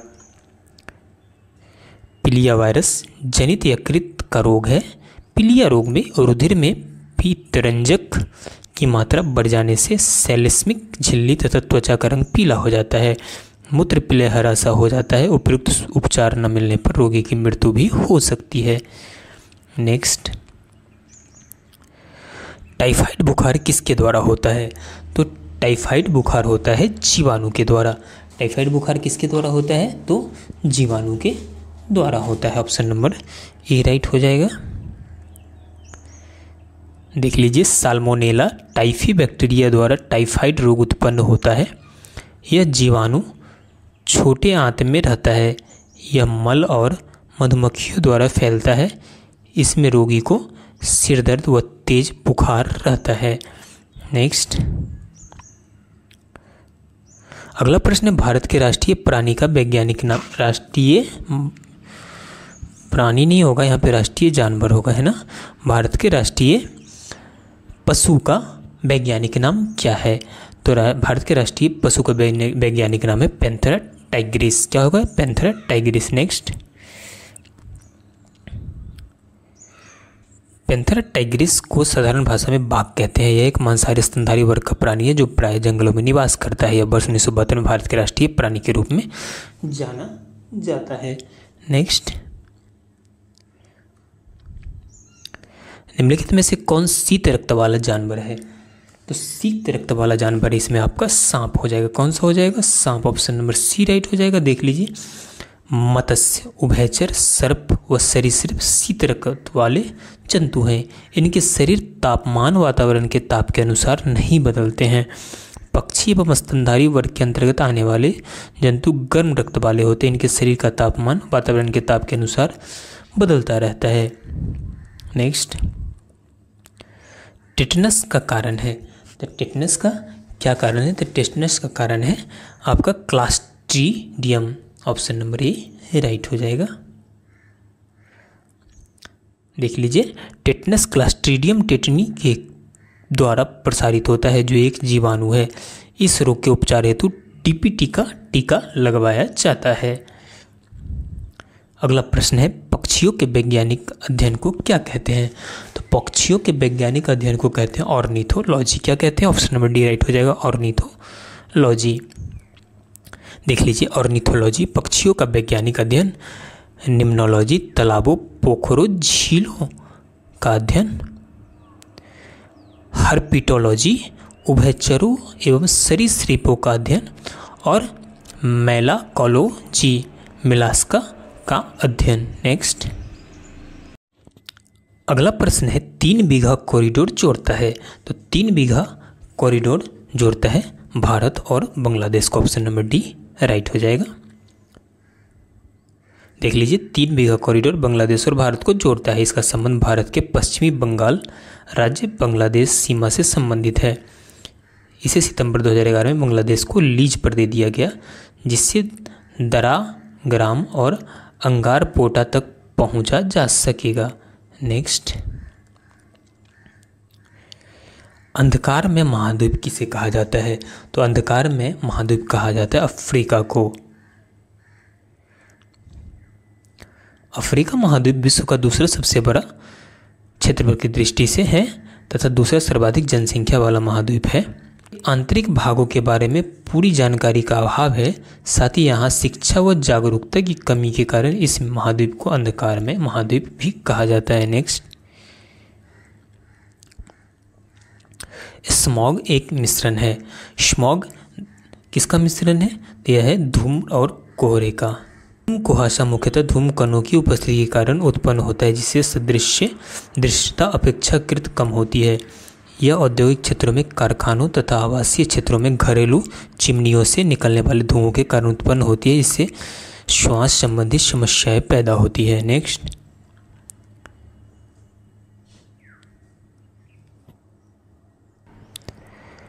अगला प्रश्न है, पृथ्वी का सबसे गहरा गर्त है। तो पृथ्वी का जो सबसे गहरा गर्त है, वो कौन सा है? वो आपका है मेरियाना गर्त। कौन सा है? ऑप्शन नंबर बी राइट हो जाएगी, मेरियाना गर्त। मिरियाना गर्त या चैलेंजर गर्त प्रशांत महासागर में मरियाना द्वीप पूर्वी भाग पर चाप के आकार में फैला है। इसकी उत्पत्ति प्लेटो के छेपन से हुई है। इस गर्त की खोज उन्नीस सौ अड़तालीस में एच एम एस चैलेंजर नामक जलयान द्वारा की गई। इसकी अनुमानित गहराई 11,303 मीटर है। यह विश्व का सबसे गहरा गर्त है।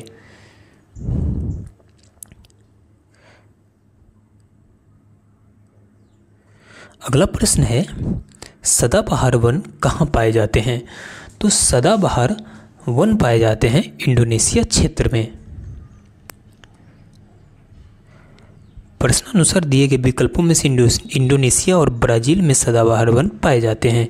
ये दोनों देश भूमध्य रेखीय प्रदेश में स्थित है, जहाँ उच्च तापमान तथा वर्षा भर, वर्ष भर वर्षा होती रहती है, जिससे सदाबहार वर्षा वनों का विकास होता है। ये वन सीमित क्षेत्रों में म्यांमार और श्रीलंका में भी पाए जाते हैं। नेक्स्ट। आर्द्रता मापने के लिए निम्नलिखित में से किस उपकरण का प्रयोग किया जाता है? तो आप आर्द्रता मापने के लिए किसका प्रयोग किया जाता है? स्लिंग साइक्रोमीटर का। नेक्स्ट। अगला है, पौधे के किस भाग को केसर के रूप में इस्तेमाल किया जाता है? तो पौधे के किस भाग को? तो वर्तिका तथा वर्तिकाग्र को केसर के रूप में इस्तेमाल किया जाता है। पौधे के पुष्प में धागे जैसे महीन भाग को केसर के रूप में प्रयोग किया जाता है। यह एक महत्वपूर्ण तथा सबसे कीमती मसाला है। केसर क्रोकस सेटाइवस नामक पौधे से प्राप्त किया जाता है, जो इरिडेसी कुल के अंतर्गत आता है। इसे फूल की वर्तिका तथा वर्तिकाग्र से प्राप्त किया जाता है। नेक्स्ट। हरे एवं कोमल तने वाले पौधे कहलाते हैं। तो हरे एवं कोमल तने वाले पौधे क्या कहलाते हैं? तो वो शाक कहलाते हैं। ऑप्शन नंबर ए, राइट हो जाएगा। हरे एवं कोमल तने वाले पौधे शाक की श्रेणी में आते हैं। एक वर्षीय, बहुवर्षीय या द्विवर्षीय हो सकते हैं। अगला प्रश्न है नर पुष्प और स्त्री पुष्प दोनों को जन्म देने वाला पादप क्या कहलाता है? तो नर पुष्प और स्त्री पुष्प दोनों को जन्म देने वाला पादप कहलाता है उभय लिंगी कौन कहलाता है? उभय लिंगी ऑप्शन नंबर ए, राइट हो जाएगा। नेक्स्ट। ऑप्शन नंबर नहीं, ऑप्शन नंबर सी होगा उभय लिंगा श्रेय नर पुष्प तथा मादा पुष्प दोनों को जन्म देने वाला पादक उभय लिंगाश्रय कहलाता है। नेक्स्ट अगला प्रश्न एक निबल कितने बीटों के बराबर होता है? तो एक निबल होता है चार बीटों के बराबर, याद रखिएगा, कई बार रिपीटेड क्वेश्चन देख लीजिए, चार बिट्स को निबल बोलते हैं एट बिट्स को वाइट कहते हैं। अतः एक निबल बराबर कितना हो जाएगा? चार बिट्स नेक्स्ट अगला प्रश्न सी A O C L to का सामान्य नाम क्या है? तो सी A O C A to का सामान्य नाम है ब्लीचिंग पाउडर क्या नाम है? Bleaching powder option number B right हो जाएगा। देख लीजिए, रासायनिक दृष्टि से ब्लीचिंग पाउडर का सूत्र C A O C L two calcium hypochlorite होता है। रोगाणुनाशी के रूप में जल को शुद्ध करने में प्रयुक्त किया जाता है ब्लीचिंग पाउडर का प्रयोग क्लोरोफॉर्म तथा क्लोरोन क्लोरीन गैस बनाने में भी किया जाता है। नेक्स्ट अगला प्रश्न है सीमेंट की खोज किसने की थी? तो सीमेंट की खोज की थी जोसेफ आस्पदीन ने। ऑप्शन नंबर सी राइट हो जाएगा। सीमेंट की खोज जोसेफ आस्पदीन ने अठारह सौ चौबीस ईस्वी में की थी। इसका रंग ब्रिटिश तट पर पोर्टलैंड द्वीप पर उत्खनित पत्थर के समान होने के कारण उन्होंने इसका नाम पोर्टलैंड सीमेंट रखा। अगला प्रश्न है, उच्चतम आयतन ऊर्जा वाला तत्व कौन सा है? तो उच्चतम आयतन ऊर्जा वाला तत्व है, कौन है? Helium. Option number B right हो जाएगा। समृद्ध कोष इलेक्ट्रॉनिक विन्यास के कारण उत्कृष्ट गैसों के आयनन विभव बहुत ऊँचे होते हैं। दिए गए विकल्पों में हीलियम का आयनन ऊर्जा सबसे अधिक है। नेक्स्ट, स्टेनलेस स्टील किसकी मिश्र धातु है? तो स्टेनलेस स्टील है। इसमें पाया जाता है क्रोमियम निकल और आयरन यानी option C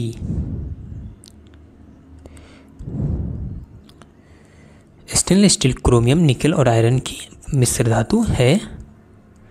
अगला प्रश्न। रासायनिक दृष्टि से चूने का पानी क्या होता है? तो रासायनिक दृष्टि से चूने का पानी होता है कैल्शियम हाइड्रोक्साइड। रासायनिक दृष्टि से चूने का पानी को कैल्शियम हाइड्रोक्साइड कहते हैं, जिसका रासायनिक सूत्र जिसका रासायनिक सूत्र है सी ए ओ एच के होल ट्वाइस नेक्स्ट ओजोन छिद्र के लिए कौन सा प्रदूषक जिम्मेदार है? तो ओजोन छिद्र के लिए जिम्मेदार प्रदूषक है C F C chlorofluorocarbon next अग्निशामकों में कौन सी गैस निकलती है? तो अग्निशामकों में निकलती है कार्बन डाइऑक्साइड गैस। नेक्स्ट।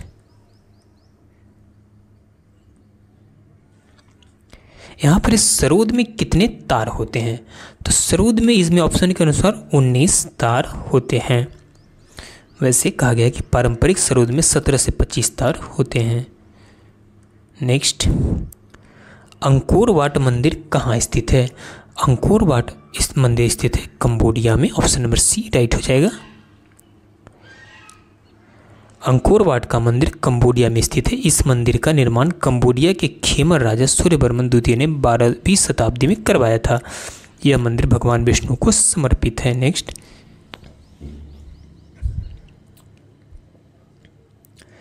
केंद्रीय चम्र अनुसंधान संस्थान कहाँ स्थित है? तो यह स्थित है आपका चेन्नई में। केंद्रीय वर्ग चम्र अनुसंधान संस्थान चेन्नई में स्थित है। यह संस्थान चम्र प्रसंस्करण चमड़े के सागानों के निर्माण तथा डिज़ाइन में संलग्न है। इसकी स्थापना 24 अप्रैल 1948 को की गई थी। नेक्स्ट। अगला प्रश्न, सचिन तेंदुलकर की आत्मकथा का क्या नाम है? तो सचिन तेंदुलकर की आत्मकथा का नाम है playing it my way. Next.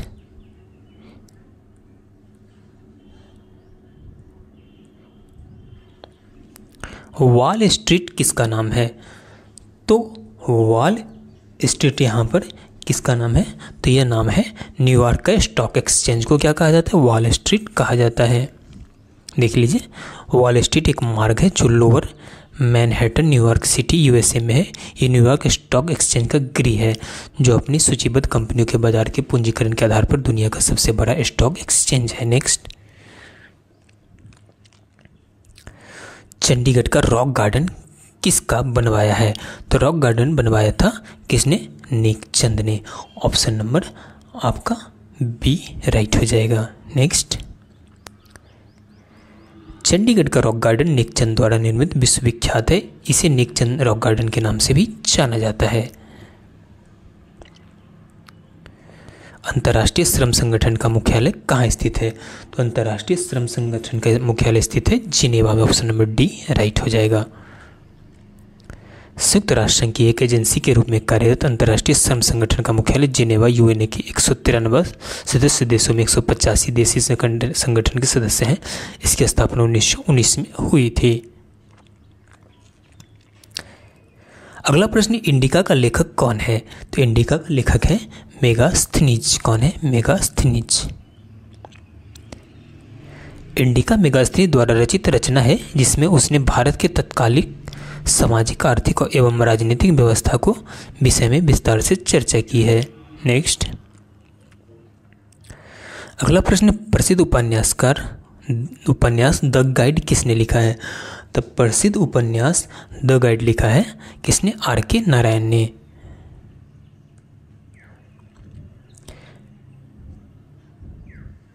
प्रसिद्ध उपन्यास द गाइड की रचना आर के नारायण ने अंग्रेज़ी भाषा में की, जो वर्ष उन्नीस में क्या हुआ था? प्रकाशित हुआ था। नेक्स्ट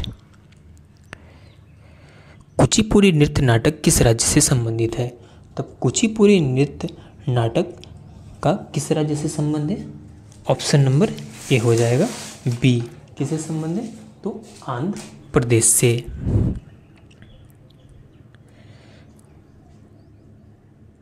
कुचिपुड़ी आंध्र प्रदेश का एक गाँव है, जिसके नाम पर एक नृत्य का नाम रखा गया है।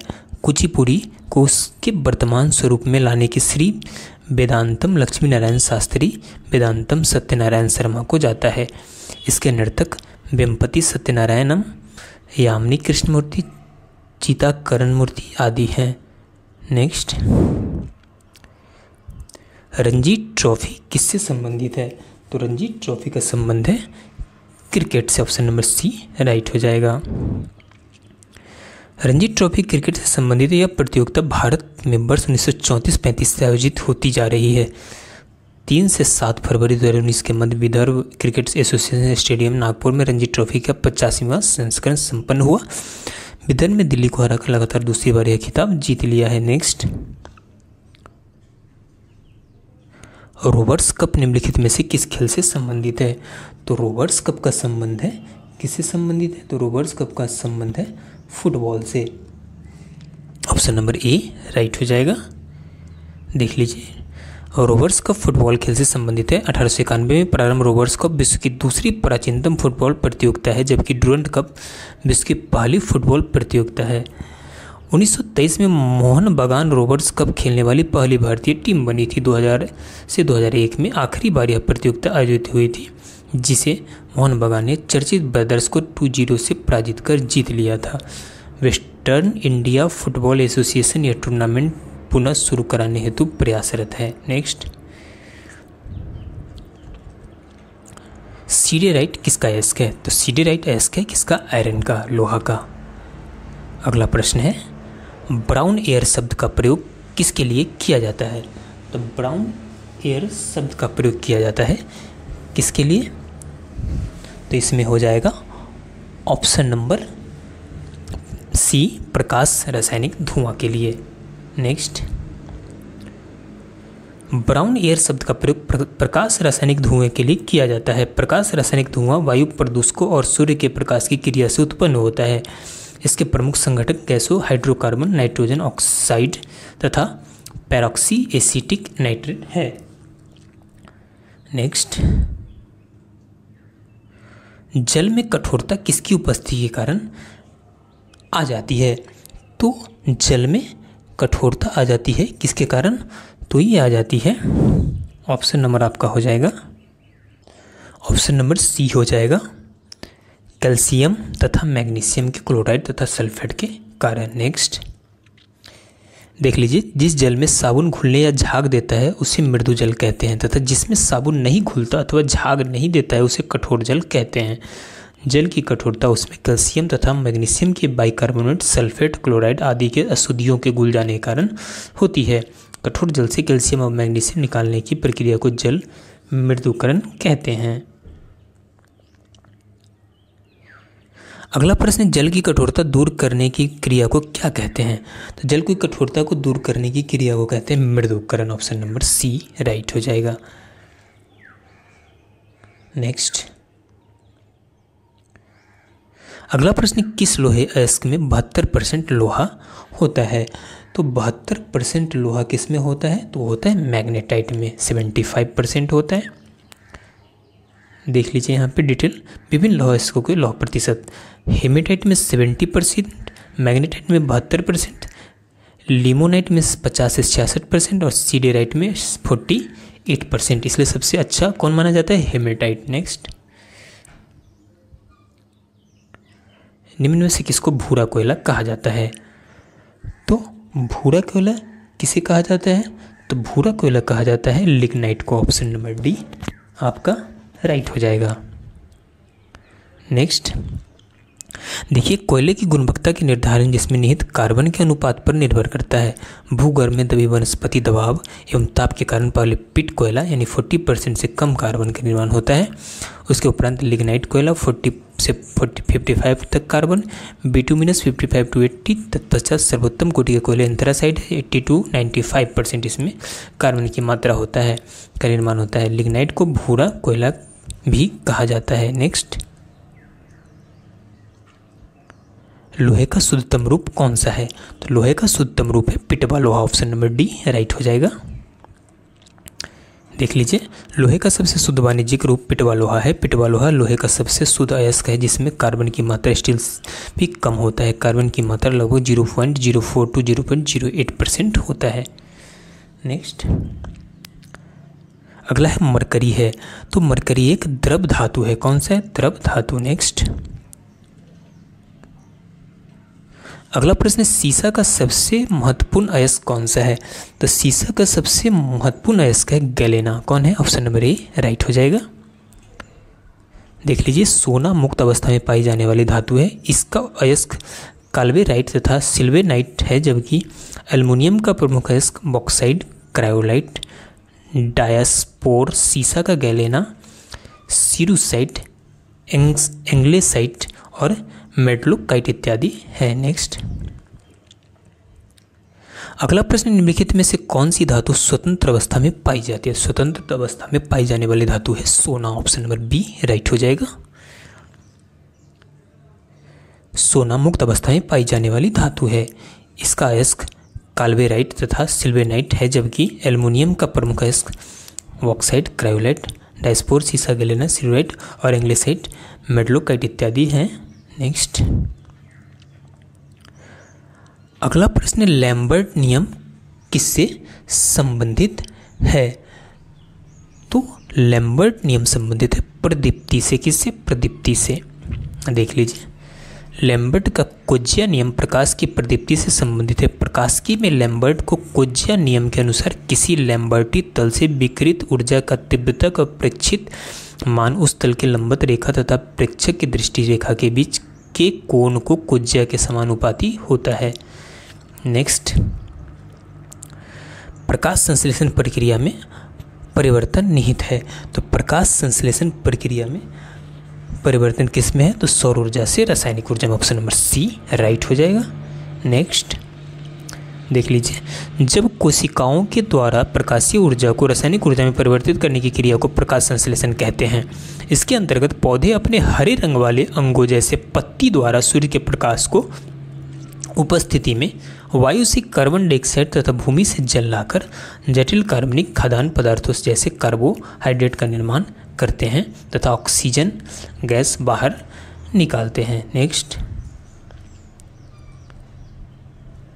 अगला प्रश्न, निम्नलिखित में से कौन व्यक्ति है जिसे भारतीय मिसाइल प्रौद्योगिकी का पिता कहा जाता है?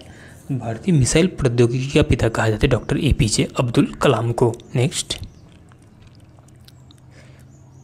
अगला प्रश्न है, दूध को मथने से क्रीम को अलग हो जाने के कारण क्या कारण है? तो इसका कारण है अब केंद्रीय बल ऑप्शन नंबर सी आपका राइट हो जाएगा। नेक्स्ट।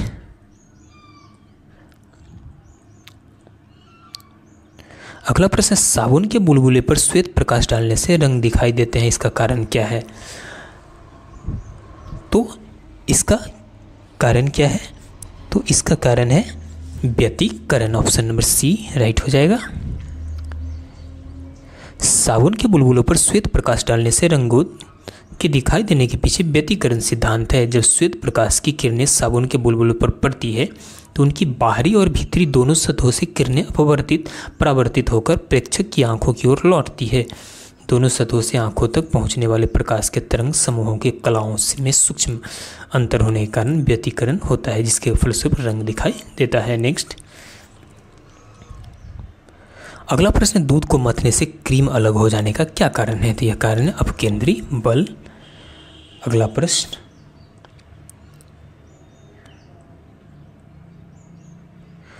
जब पानी जम जाता है तो उसका घनत्व क्या हो जाता है? तो घनत्व क्या हो जाता है? घट जाता है।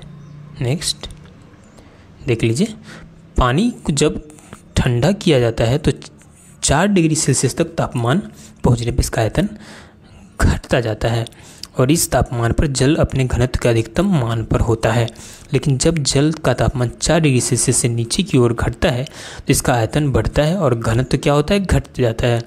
अतः एक निश्चित द्रव्यमान के जल को बर्फ़ में बदलने पर आयतन के बढ़ जाने से घनत्व क्या हो जाता है? घट जाता है। नेक्स्ट। अगला प्रश्न, एक फ्यूज की तार को इन लक्षणों के कारण पहचाना जाता है। तो इनका क्या होता है? उच्चतम प्रतिरोधकता न्यूनतम गलनांक। ऑप्शन नंबर ए, राइट हो जाएगा। नेक्स्ट।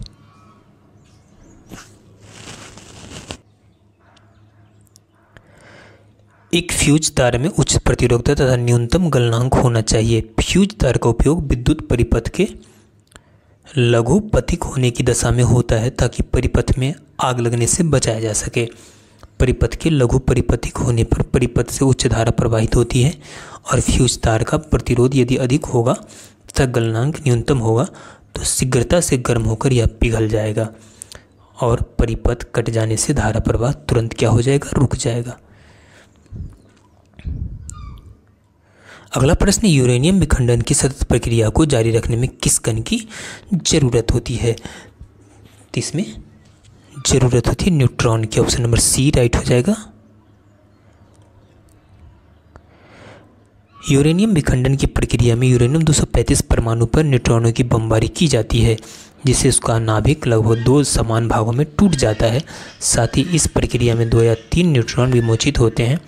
ये न्यूट्रॉन अन्य यूरेनियम 235 परमाणुओं के नाभिक को तारे कर ऊर्जा और न्यूट्रॉन विमोचित करते हैं। यह प्रक्रिया इसी प्रकार चलती रहती है। नेक्स्ट। अगला प्रश्न फ्यूज किस सिद्धांत पर कार्य करता है? तो फ्यूज किस सिद्धांत पर करता करता है? विद्युत उष्मीय प्रभाव।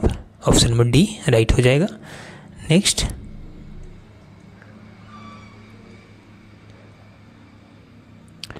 पूंजीवादी अर्थव्यवस्था में कीमत निर्धारित किसके द्वारा की जाती है? तो यह की जाती है मांग और पूर्ति के द्वारा। ऑप्शन नंबर ए, राइट हो जाएगा। श्रम विभाजन की धारणा का समर्थन किसने किया था? तो यह किया था? किसने किया था? यह स्मिथ ने एडम स्मिथ ने नेक्स्ट आधुनिक अर्थशास्त्र के जनक तथा प्रतिष्ठित संप्रदाय के प्रणेता एडम स्मिथ ने श्रम विभाजन की धारणा का समर्थन किया था। इस धारणा के अनुसार यदि किसी कार्य की संपूर्ण प्रक्रिया को एक ही आदमी द्वारा न कराकर उसके विभिन्न चरणों के भिन्न भिन्न लोगों से पूरा कराने की प्रक्रिया को ही श्रम विभाजन कहते हैं। अगला प्रश्न है। स्वर्ण मुख्यतः संबंधित है तो स्वर्ण का संबंध है अंतर्राष्ट्रीय बाज़ार से नेक्स्ट ये क्वेश्चन पहले ही कंप्लीट हो चुका है।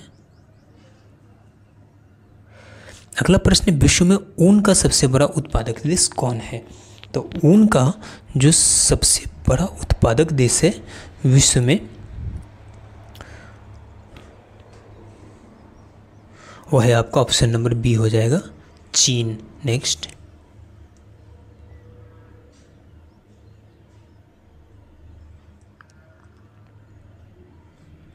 अगला प्रश्न यूरेनस के कितने उपग्रह हैं? तो यूरेनस के कुल उपग्रह हैं ट्वेंटी सेवन याद रखिएगा, कितने ट्वेंटी सेवन नेक्स्ट यहाँ पे देख लीजिए, ग्रह और उनके उपग्रह की संख्या निम्नतम नवीनतम आंकड़ों के अनुसार ये है।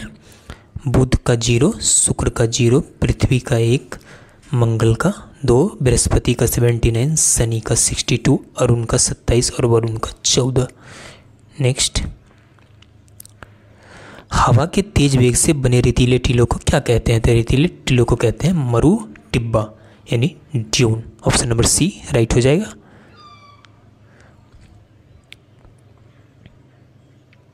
अगला प्रश्न है, भारत का जीव मंडल रिज़र्व नंदा देवी यूनेस्को किस राज्य में स्थित है?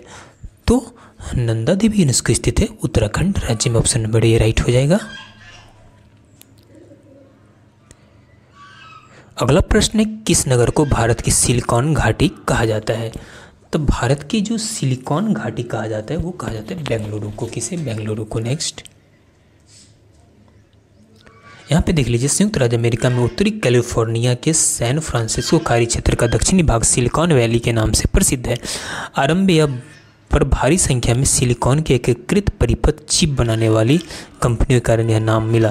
इस संदर्भ में भारत में सिलिकॉन वैली बेंगलुरु को कहा जाता है। नेक्स्ट। ये हो गया भारत में सिलिकॉन वैली स्थित है तो बेंगलुरु में।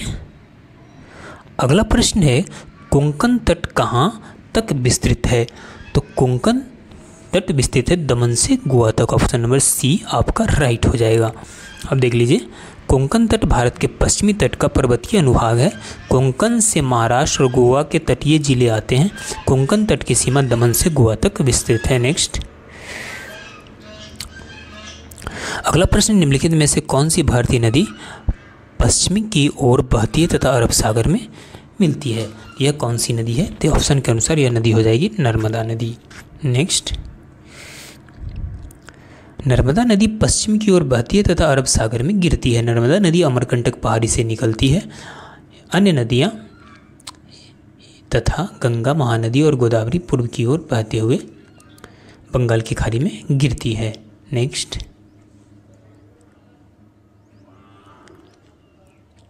केरल के तट को क्या कहा जाता है? तो केरल के तट को कहा जाता है मालावार तट। ऑप्शन नंबर बी, राइट हो जाएगा। आंध्र प्रदेश और तमिलनाडु के तटीय भूभाग को कोरोमंडल तट कहते हैं, जबकि पश्चिम में केरल के तट को मालावार तट कहते हैं। अगला प्रश्न है, अन्ना मोदी शिखर की यहाँ स्थित है। तो अन्ना मोदी शिखर स्थित है नीलगिरी पहाड़िया में। कहाँ पे स्थित है? नीलगिरी पहाड़िया में। देख लीजिए प्रायद्वीपीय भारत अथवा दक्षिण भारत की उच्चतम पर्वत चोटी अन्नामुदी है, जिसकी ऊंचाई छब्बीस मीटर है। यह नीलगिरी के दक्षिण में अन्नामलाई पहाड़ी में स्थित है। डोरा बेटा ऐसी दूसरी ऊँची चोटी है इसकी ऊंचाई दो मीटर है। यह नीलगिरी पहाड़ी में स्थित है।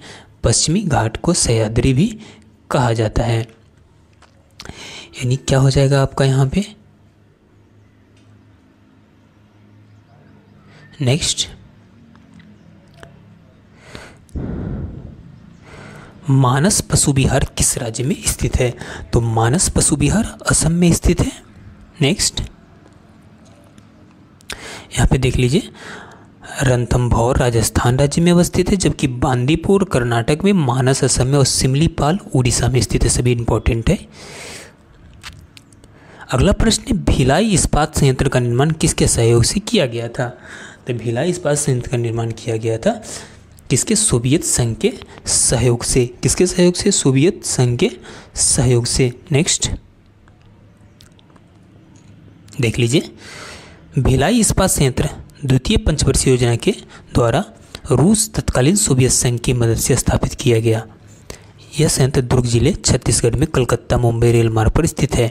यह कच्चा माल लोहस्क डल्ली राजहरा, खदानों से कोयला कोरबा बोकारो, करगली झरिया क्षेत्रों से चूना पत्थर, नंदनी खदानों से मैग्नीज, बालाघाट तथा भंडारा क्षेत्र से डोलोमाइटी, भटपुरा, रामटोला, हरदी, कुस, कसौंदी, परसोदा, खैरा तथा पटपारा से जल, तंदुला नहर एवं जलाशय से तथा विद्युत कोरबा तापी शक्तिगिरी से प्राप्त करता है। अगला प्रश्न है, सुंदरी वृक्ष निम्नलिखित में से किसकी एक विशेष प्रकार की वनस्पति है? तो सुंदरी वृक्ष जो है वह ज्वारीय वन से संबंधित है। नेक्स्ट ज्वारीय वनस्पति मुख्यतः भारत के पूर्वी तटीय क्षेत्र में मिलती है। पूर्वी तटीय क्षेत्र गंगा, गोदावरी, कृष्णा आदि के निम्न डेल्टाई भाग में उच्च समुद्री ज्वार का पानी जमा हो जाता है। इस पानी से यहाँ की भूमि दलदली हो जाती है। बंगाल का सुंदरबन ज्वारीय वनस्पति का प्रमुख उदाहरण मैंग्रोव और सुंदरी वृक्ष प्रमुख ज्वालामुखी वृक्ष है। नेक्स्ट अगला प्रश्न है, किशन गंगा परियोजना भारत तथा किसके बीच में है? विवाद। भारत तथा पाकिस्तान के बीच में यह विवाद है।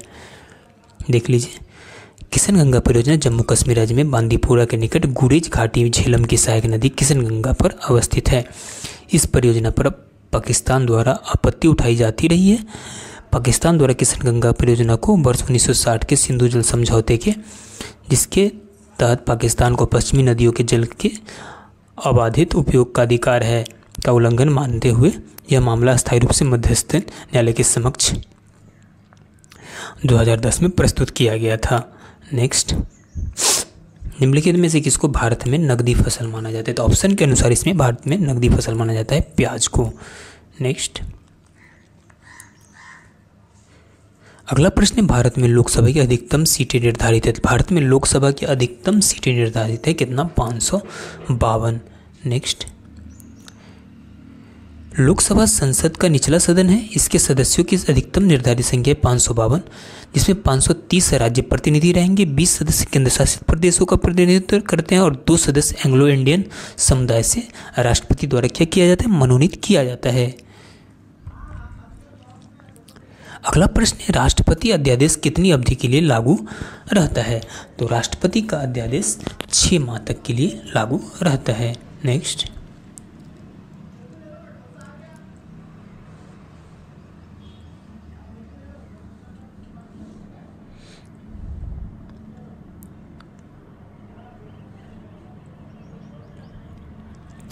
निम्न में से कौन एक राजनीतिक अधिकार है? तो इसमें आपको बता दूँ कि राजनीतिक अधिकार है आपका, मतदान का अधिकार। कौन सा? मतदान का अधिकार। नेक्स्ट भारत में व्यस्क मताधिकार प्रणाली अपनाई गई, जिसके तहत अठारह अठारह वर्ष से अधिक आयु के सभी नागरिकों को अपने जनप्रतिनिधियों को चुनने का वैधानिक अधिकार प्राप्त है। अनुकूल चंद प्रधान बनाम भारत संघ के बाद उन्नीस में सर्वोच्च न्यायालय में मतदान करने के अधिकार को मौलिक अधिकार नहीं, बल्कि विधान सरकार अभ्यारोपित सीमाओं के अधीन वैधानिक अधिकार माना है। मत देने के अधिकार को राजनीतिक अधिकार भी माना जाता है, क्योंकि इसका प्रयोग व्यस्क मतदाता द्वारा अपनी राजनीतिक इच्छा पूर्ति हेतु किया जाता है। नेक्स्ट। सेम क्वेश्चन है, मत देने का अधिकार किस कोटि से संबंधित है? तो किससे संबंधित है? तो राजनीतिक अधिकार से। मनुष्य एक सामाजिक प्राणी है। यह कथन किसका था? तो यह कथन था अरस्तु का। किसका था? अरस्तु का ऑप्शन नंबर बी राइट हो जाएगा। अगला प्रश्न है, भारतीय संविधान के अनुसार निम्न में से कौन सा मूल अधिकार नहीं है? तो यहाँ पे सूचना का अधिकार, मूल अधिकार नहीं है। अगला प्रश्न है, भारत में स्वतंत्रता के बाद कितनी बार राष्ट्रीय आपातकाल लागू हो चुकी है? तो भारत में स्वतंत्रता के बाद तीन बार राष्ट्रीय आपातकाल लागू हो चुकी है। देख लीजिए। वर्ष अनुच्छेद तीन सौ बावन के अधीन पहली आपातकाल की उद्घोषणा वर्ष उन्नीस सौ बासठ में चीन युद्ध के समय, दूसरा पाकिस्तान द्वारा वर्ष उन्नीस सौ इकहत्तर में घोषित एवं तीसरा आंतरिक अशांति के आधार पर वर्ष उन्नीस सौ पचहत्तर में की गई थी। ध्यातव्य यह है कि कुल संविधान के अनुच्छेद तीन सौ बावन के आंतरिक अशांति के स्थान पर चौवालीसवें संविधान संशोधन उन्नीस से सशस्त्र विद्रोह का प्रतिस्थापित किया गया है। नेक्स्ट। अगला प्रश्न, निम्नलिखित में से कौन भारत में वित्तीय आपातकाल की घोषणा करता है? तो वित्तीय आपातकाल की घोषणा कौन करेगा? तो भारत के राष्ट्रपति। नेक्स्ट। राष्ट्रपति अनुच्छेद 360 के तहत आर्थिक संकट की स्थिति में वित्तीय आपातकाल की घोषणा कर सकता है।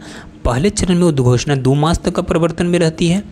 यदि संसद के दोनों सदनों से संकल्पों द्वारा इसका अनुमोदन हो जाता है तो वह अनिश्चितकालीन काल तक बनी बनी रह सकती है, अर्थात जब तक वापस न ली जाए, तब तक। नेक्स्ट। भारतीय संविधान का कौन सा अनुच्छेद अस्पृश्यता का उन्मूलन करता है? तो वह करता है अनुच्छेद सत्रह। नेक्स्ट।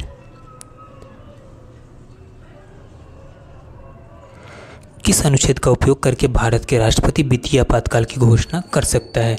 तो अनुच्छेद 360 का उपयोग कर वित्तीय आपातकाल की घोषणा कर सकता है। नेक्स्ट। अगला प्रश्न है कि डेमोक्रेसी शब्द किस भाषा से लिया गया है? तो यह लिया गया है ग्रीक भाषा से। ऑप्शन नंबर ए राइट हो जाएगा।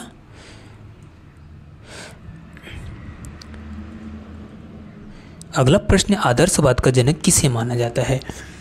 तो आदर्शवाद का जनक किसे माना जाता है? प्लेटो को। ऑप्शन नंबर ए, राइट हो जाएगा। देख लीजिए, आदर्शवाद का जनक यूनानी दार्शनिक राजनीतिक चिंतक प्लेटो को माना जाता है। प्लेटो ने अपनी प्रसिद्ध पुस्तक रिपब्लिकन आदर्श राज्य का चित्रण किया। इसी सिद्धांत पर चरमोत्कर्ष हीगल की विचारधारा में देखने को मिलता है। नेक्स्ट। अगला प्रश्न मुस्लिम लीग की स्थापना किस वर्ष हुई थी? तो मुस्लिम लीग की स्थापना वर्ष 1906 में हुई थी। 1906 में ढाका में अखिल भारतीय मुस्लिम लीग की स्थापना नवाब सलीमुल्ला खान एवं आगा खां के नेतृत्व में क्या हुआ था? की गई थी। नेक्स्ट। अगला प्रश्न है, निम्न में से कौन दीन इलाही का सदस्य बना था? दीन इलाही का प्रथम सदस्य बनने वाला था राजा बिरबल कौन था राजा? बिरबल ऑप्शन में राइट हो जाएगा। दीन इलाही नामक एक नया धर्म अकबर द्वारा शुरू किया गया था। इसका प्रथम अनुयायी बीरबल था। सभी धर्मों के सारांश ग्रह के रूप में अकबर द्वारा पंद्रह में दीन इलाही देवी एकेश्वरवाद का परिवर्तन किया गया। अबुल फजल इसका प्रधान पुरोहित था। नेक्स्ट।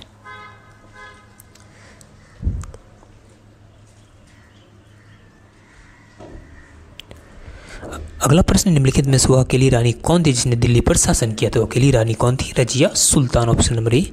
Right हो जाएगा।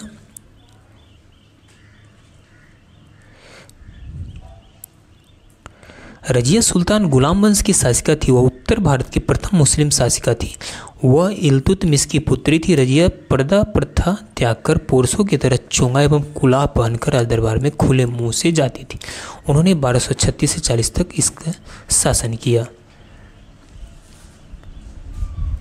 अगला है यंग इंडिया। और हरिजन का संपादक कौन थे? तो वो थे Mahatma Gandhi. Option number C right हो जाएगा। अगला प्रश्न, अकबर के दरबार में सबसे प्रसिद्ध संगीतकार तानसेन का मूल नाम क्या था? तानसेन का मूल नाम था Ramtanu Pandey. Option number C Akbar के दरबार में सबसे प्रसिद्ध संगीतकार तानसेन संबंध हिंदू गाड़े ब्राह्मण परिवार से था। तानसेन के पिता का नाम मुंकू द पांडे था। इनका गाँव मध्य प्रदेश के ग्वालियर ज़िले में था। तानसेन के बचपन का नाम रामतनु पांडे था। नेक्स्ट। गांधी जी द्वारा सन 1933 तक संपादित समाचार पत्र का, समाचार पत्र का नाम क्या था? तो समाचार पत्र का नाम क्या था? तो यह नाम था यंग इंडिया क्या नाम था? Young India option number D right हो जाएगा। अगला प्रश्न भारतीय राष्ट्रीय कांग्रेस के पहला अंग्रेज़ अध्यक्ष कौन थे? तो पहला अंग्रेज़ अध्यक्ष थे George Yule option number A right हो जाएगा। कांग्रेस चार अधिवेशन, अठारह सौ अठासी उत्तर पश्चिमी प्रांत की राजधानी इलाहाबाद में हुआ था। इसकी अध्यक्षता जॉर्ज यूले द्वारा की गई थी, जो भारतीय राष्ट्रीय कांग्रेस के पहले अंग्रेज़ अध्यक्ष थे। नेक्स्ट टुडरमल किस मुगल शासक के प्रसिद्ध राजस्व मंत्री था? तो टुडरमल किसका था? अकबर के राजस्व मंत्री था। नेक्स्ट अकबर द्वारा भू राजस्व व्यवस्था को पुनर्निर्धारण हेतु पंद्रह सौ सत्तर इकहत्तर में मुजफ्फर खां तुर्बती और राजा टोडरमल को अर्थ मंत्री राजस्व मंत्री पद पर नियुक्त किया गया। राजा टोडरमल ने अलग फ़सलों पर नगद के रूप में वसूल की जाने वाली लगान राशि को पिछले दस वर्षों का औसत निकालकर उस औसत का एक तिहाई भू राजस्व के रूप में निश्चित किया था, जिसे दहसाला मालगुजारी व्यवस्था कहा जाता था। आईने दहसाला व्यवस्था को टोडरमल बंदोबस्त भी कहा जाता था। नेक्स्ट। पूना समझौता महात्मा गांधी और किसके बीच में हुआ था? पूना समझौता महात्मा गांधी और भीमराव अंबेडकर के बीच में हुआ। नेक्स्ट। देख लीजिए, ऐतिहासिक पूना समझौता 1932 महात्मा गांधी और भीमराव अंबेडकर के मध्य हुआ था। यद्यपि इस पर गांधी जी ने स्वयं हस्ताक्षर नहीं किए थे, बल्कि इस पर अंबेडकर और गांधी जी के अनुयायियों द्वारा हस्ताक्षर किए गए थे। 24 सितंबर 1932 को हस्ताक्षरित इस समझौते में दलित वर्गों के लिए पृथक निर्वाचन मंडल के स्थान पर सामान्य वर्ग के तहत ही सीटें आरक्षित करने की व्यवस्था की गई थी। नेक्स्ट। अगला प्रश्न, अकबर का प्रसिद्ध राजस्व मंत्री कौन था? तो वो था, कौन था? टोडरमल ये तो हो गया है।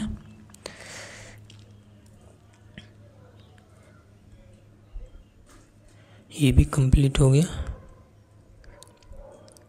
अगला प्रश्न है, दिल्ली सल्तनत का अंतिम वंश क्या था? तो दिल्ली सल्तनत का अंतिम वंश था आपका कौन था? लोधी वंश, ऑप्शन नंबर डी। राइट हो जाएगा। नेक्स्ट।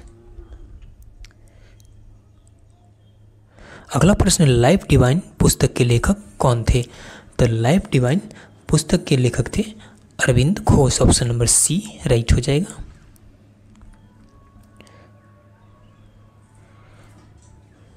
अगला है, लाला लाजपत राय किसके विरुद्ध प्रदर्शन कर रहे थे जब वो पुलिस की निरसंसता का शिकार हुए तो वे कर रहे थे? साइमन कमीशन का विरोध कर रहे थे। देख लीजिए लाला लाजपत राय, वर्ष 1928 में साइमन कमीशन के विरुद्ध प्रदर्शन करते समय पुलिस की निरसंसता का शिकार हुए थे। अगला है, निम्न में से किस शासक ने जजिया कर समाप्त कर दिया था? तो जजिया कर समाप्त कर दिया था किसने? अकबर ने। नेक्स्ट देख लीजिए इसका डिटेल मुगल सम्राट अकबर ने पंद्रह में जजिया कर समाप्त कर दिया था। अकबर ने पंद्रह में दास प्रथा तथा पंद्रह ईस्वी में तीर्थ यात्रा कर लेना भी बंद कर दिया था। सोलह सौ में मुगल सम्राट औरंगज़ेब ने जजिया कर लेना पुनः प्रारंभ कर दिया था। अगला प्रश्न है, जालियावाला बाग हादसे से कौन सा ब्रिगेडियर संबंधित था? तो वो था जनरल डायर। कौन संबंधित था? General Dyer. जालियावाला बाग हादसे से ब्रिगेडियर जनरल डायर संबंध था। तेरह अप्रैल उन्नीस सौ उन्नीस को बैसाखी के दिन अमृतसर के जालियावाला बाग में एकत्रित निहत्थी भीड़ पर brigadier general Reginald Edward Harry Dyer के आदेश पर गोलियाँ चलाई गई थी। अगला प्रश्न, लेडी विद द लैम्प के नाम से कौन विख्यात है? तो लेडी विद द लैम्प के नाम से विख्यात है Florence Nightingale, option number B, right. Lady with the lamp के नाम से फ्लोरेंस नाइटिंगल विख्यात है वह क्रीमिया के युद्ध में घायल सैनिकों की सेवा हेतु संगठित प्रयास करने वाली प्रसिद्ध अंग्रेज़ परिचारिका थी।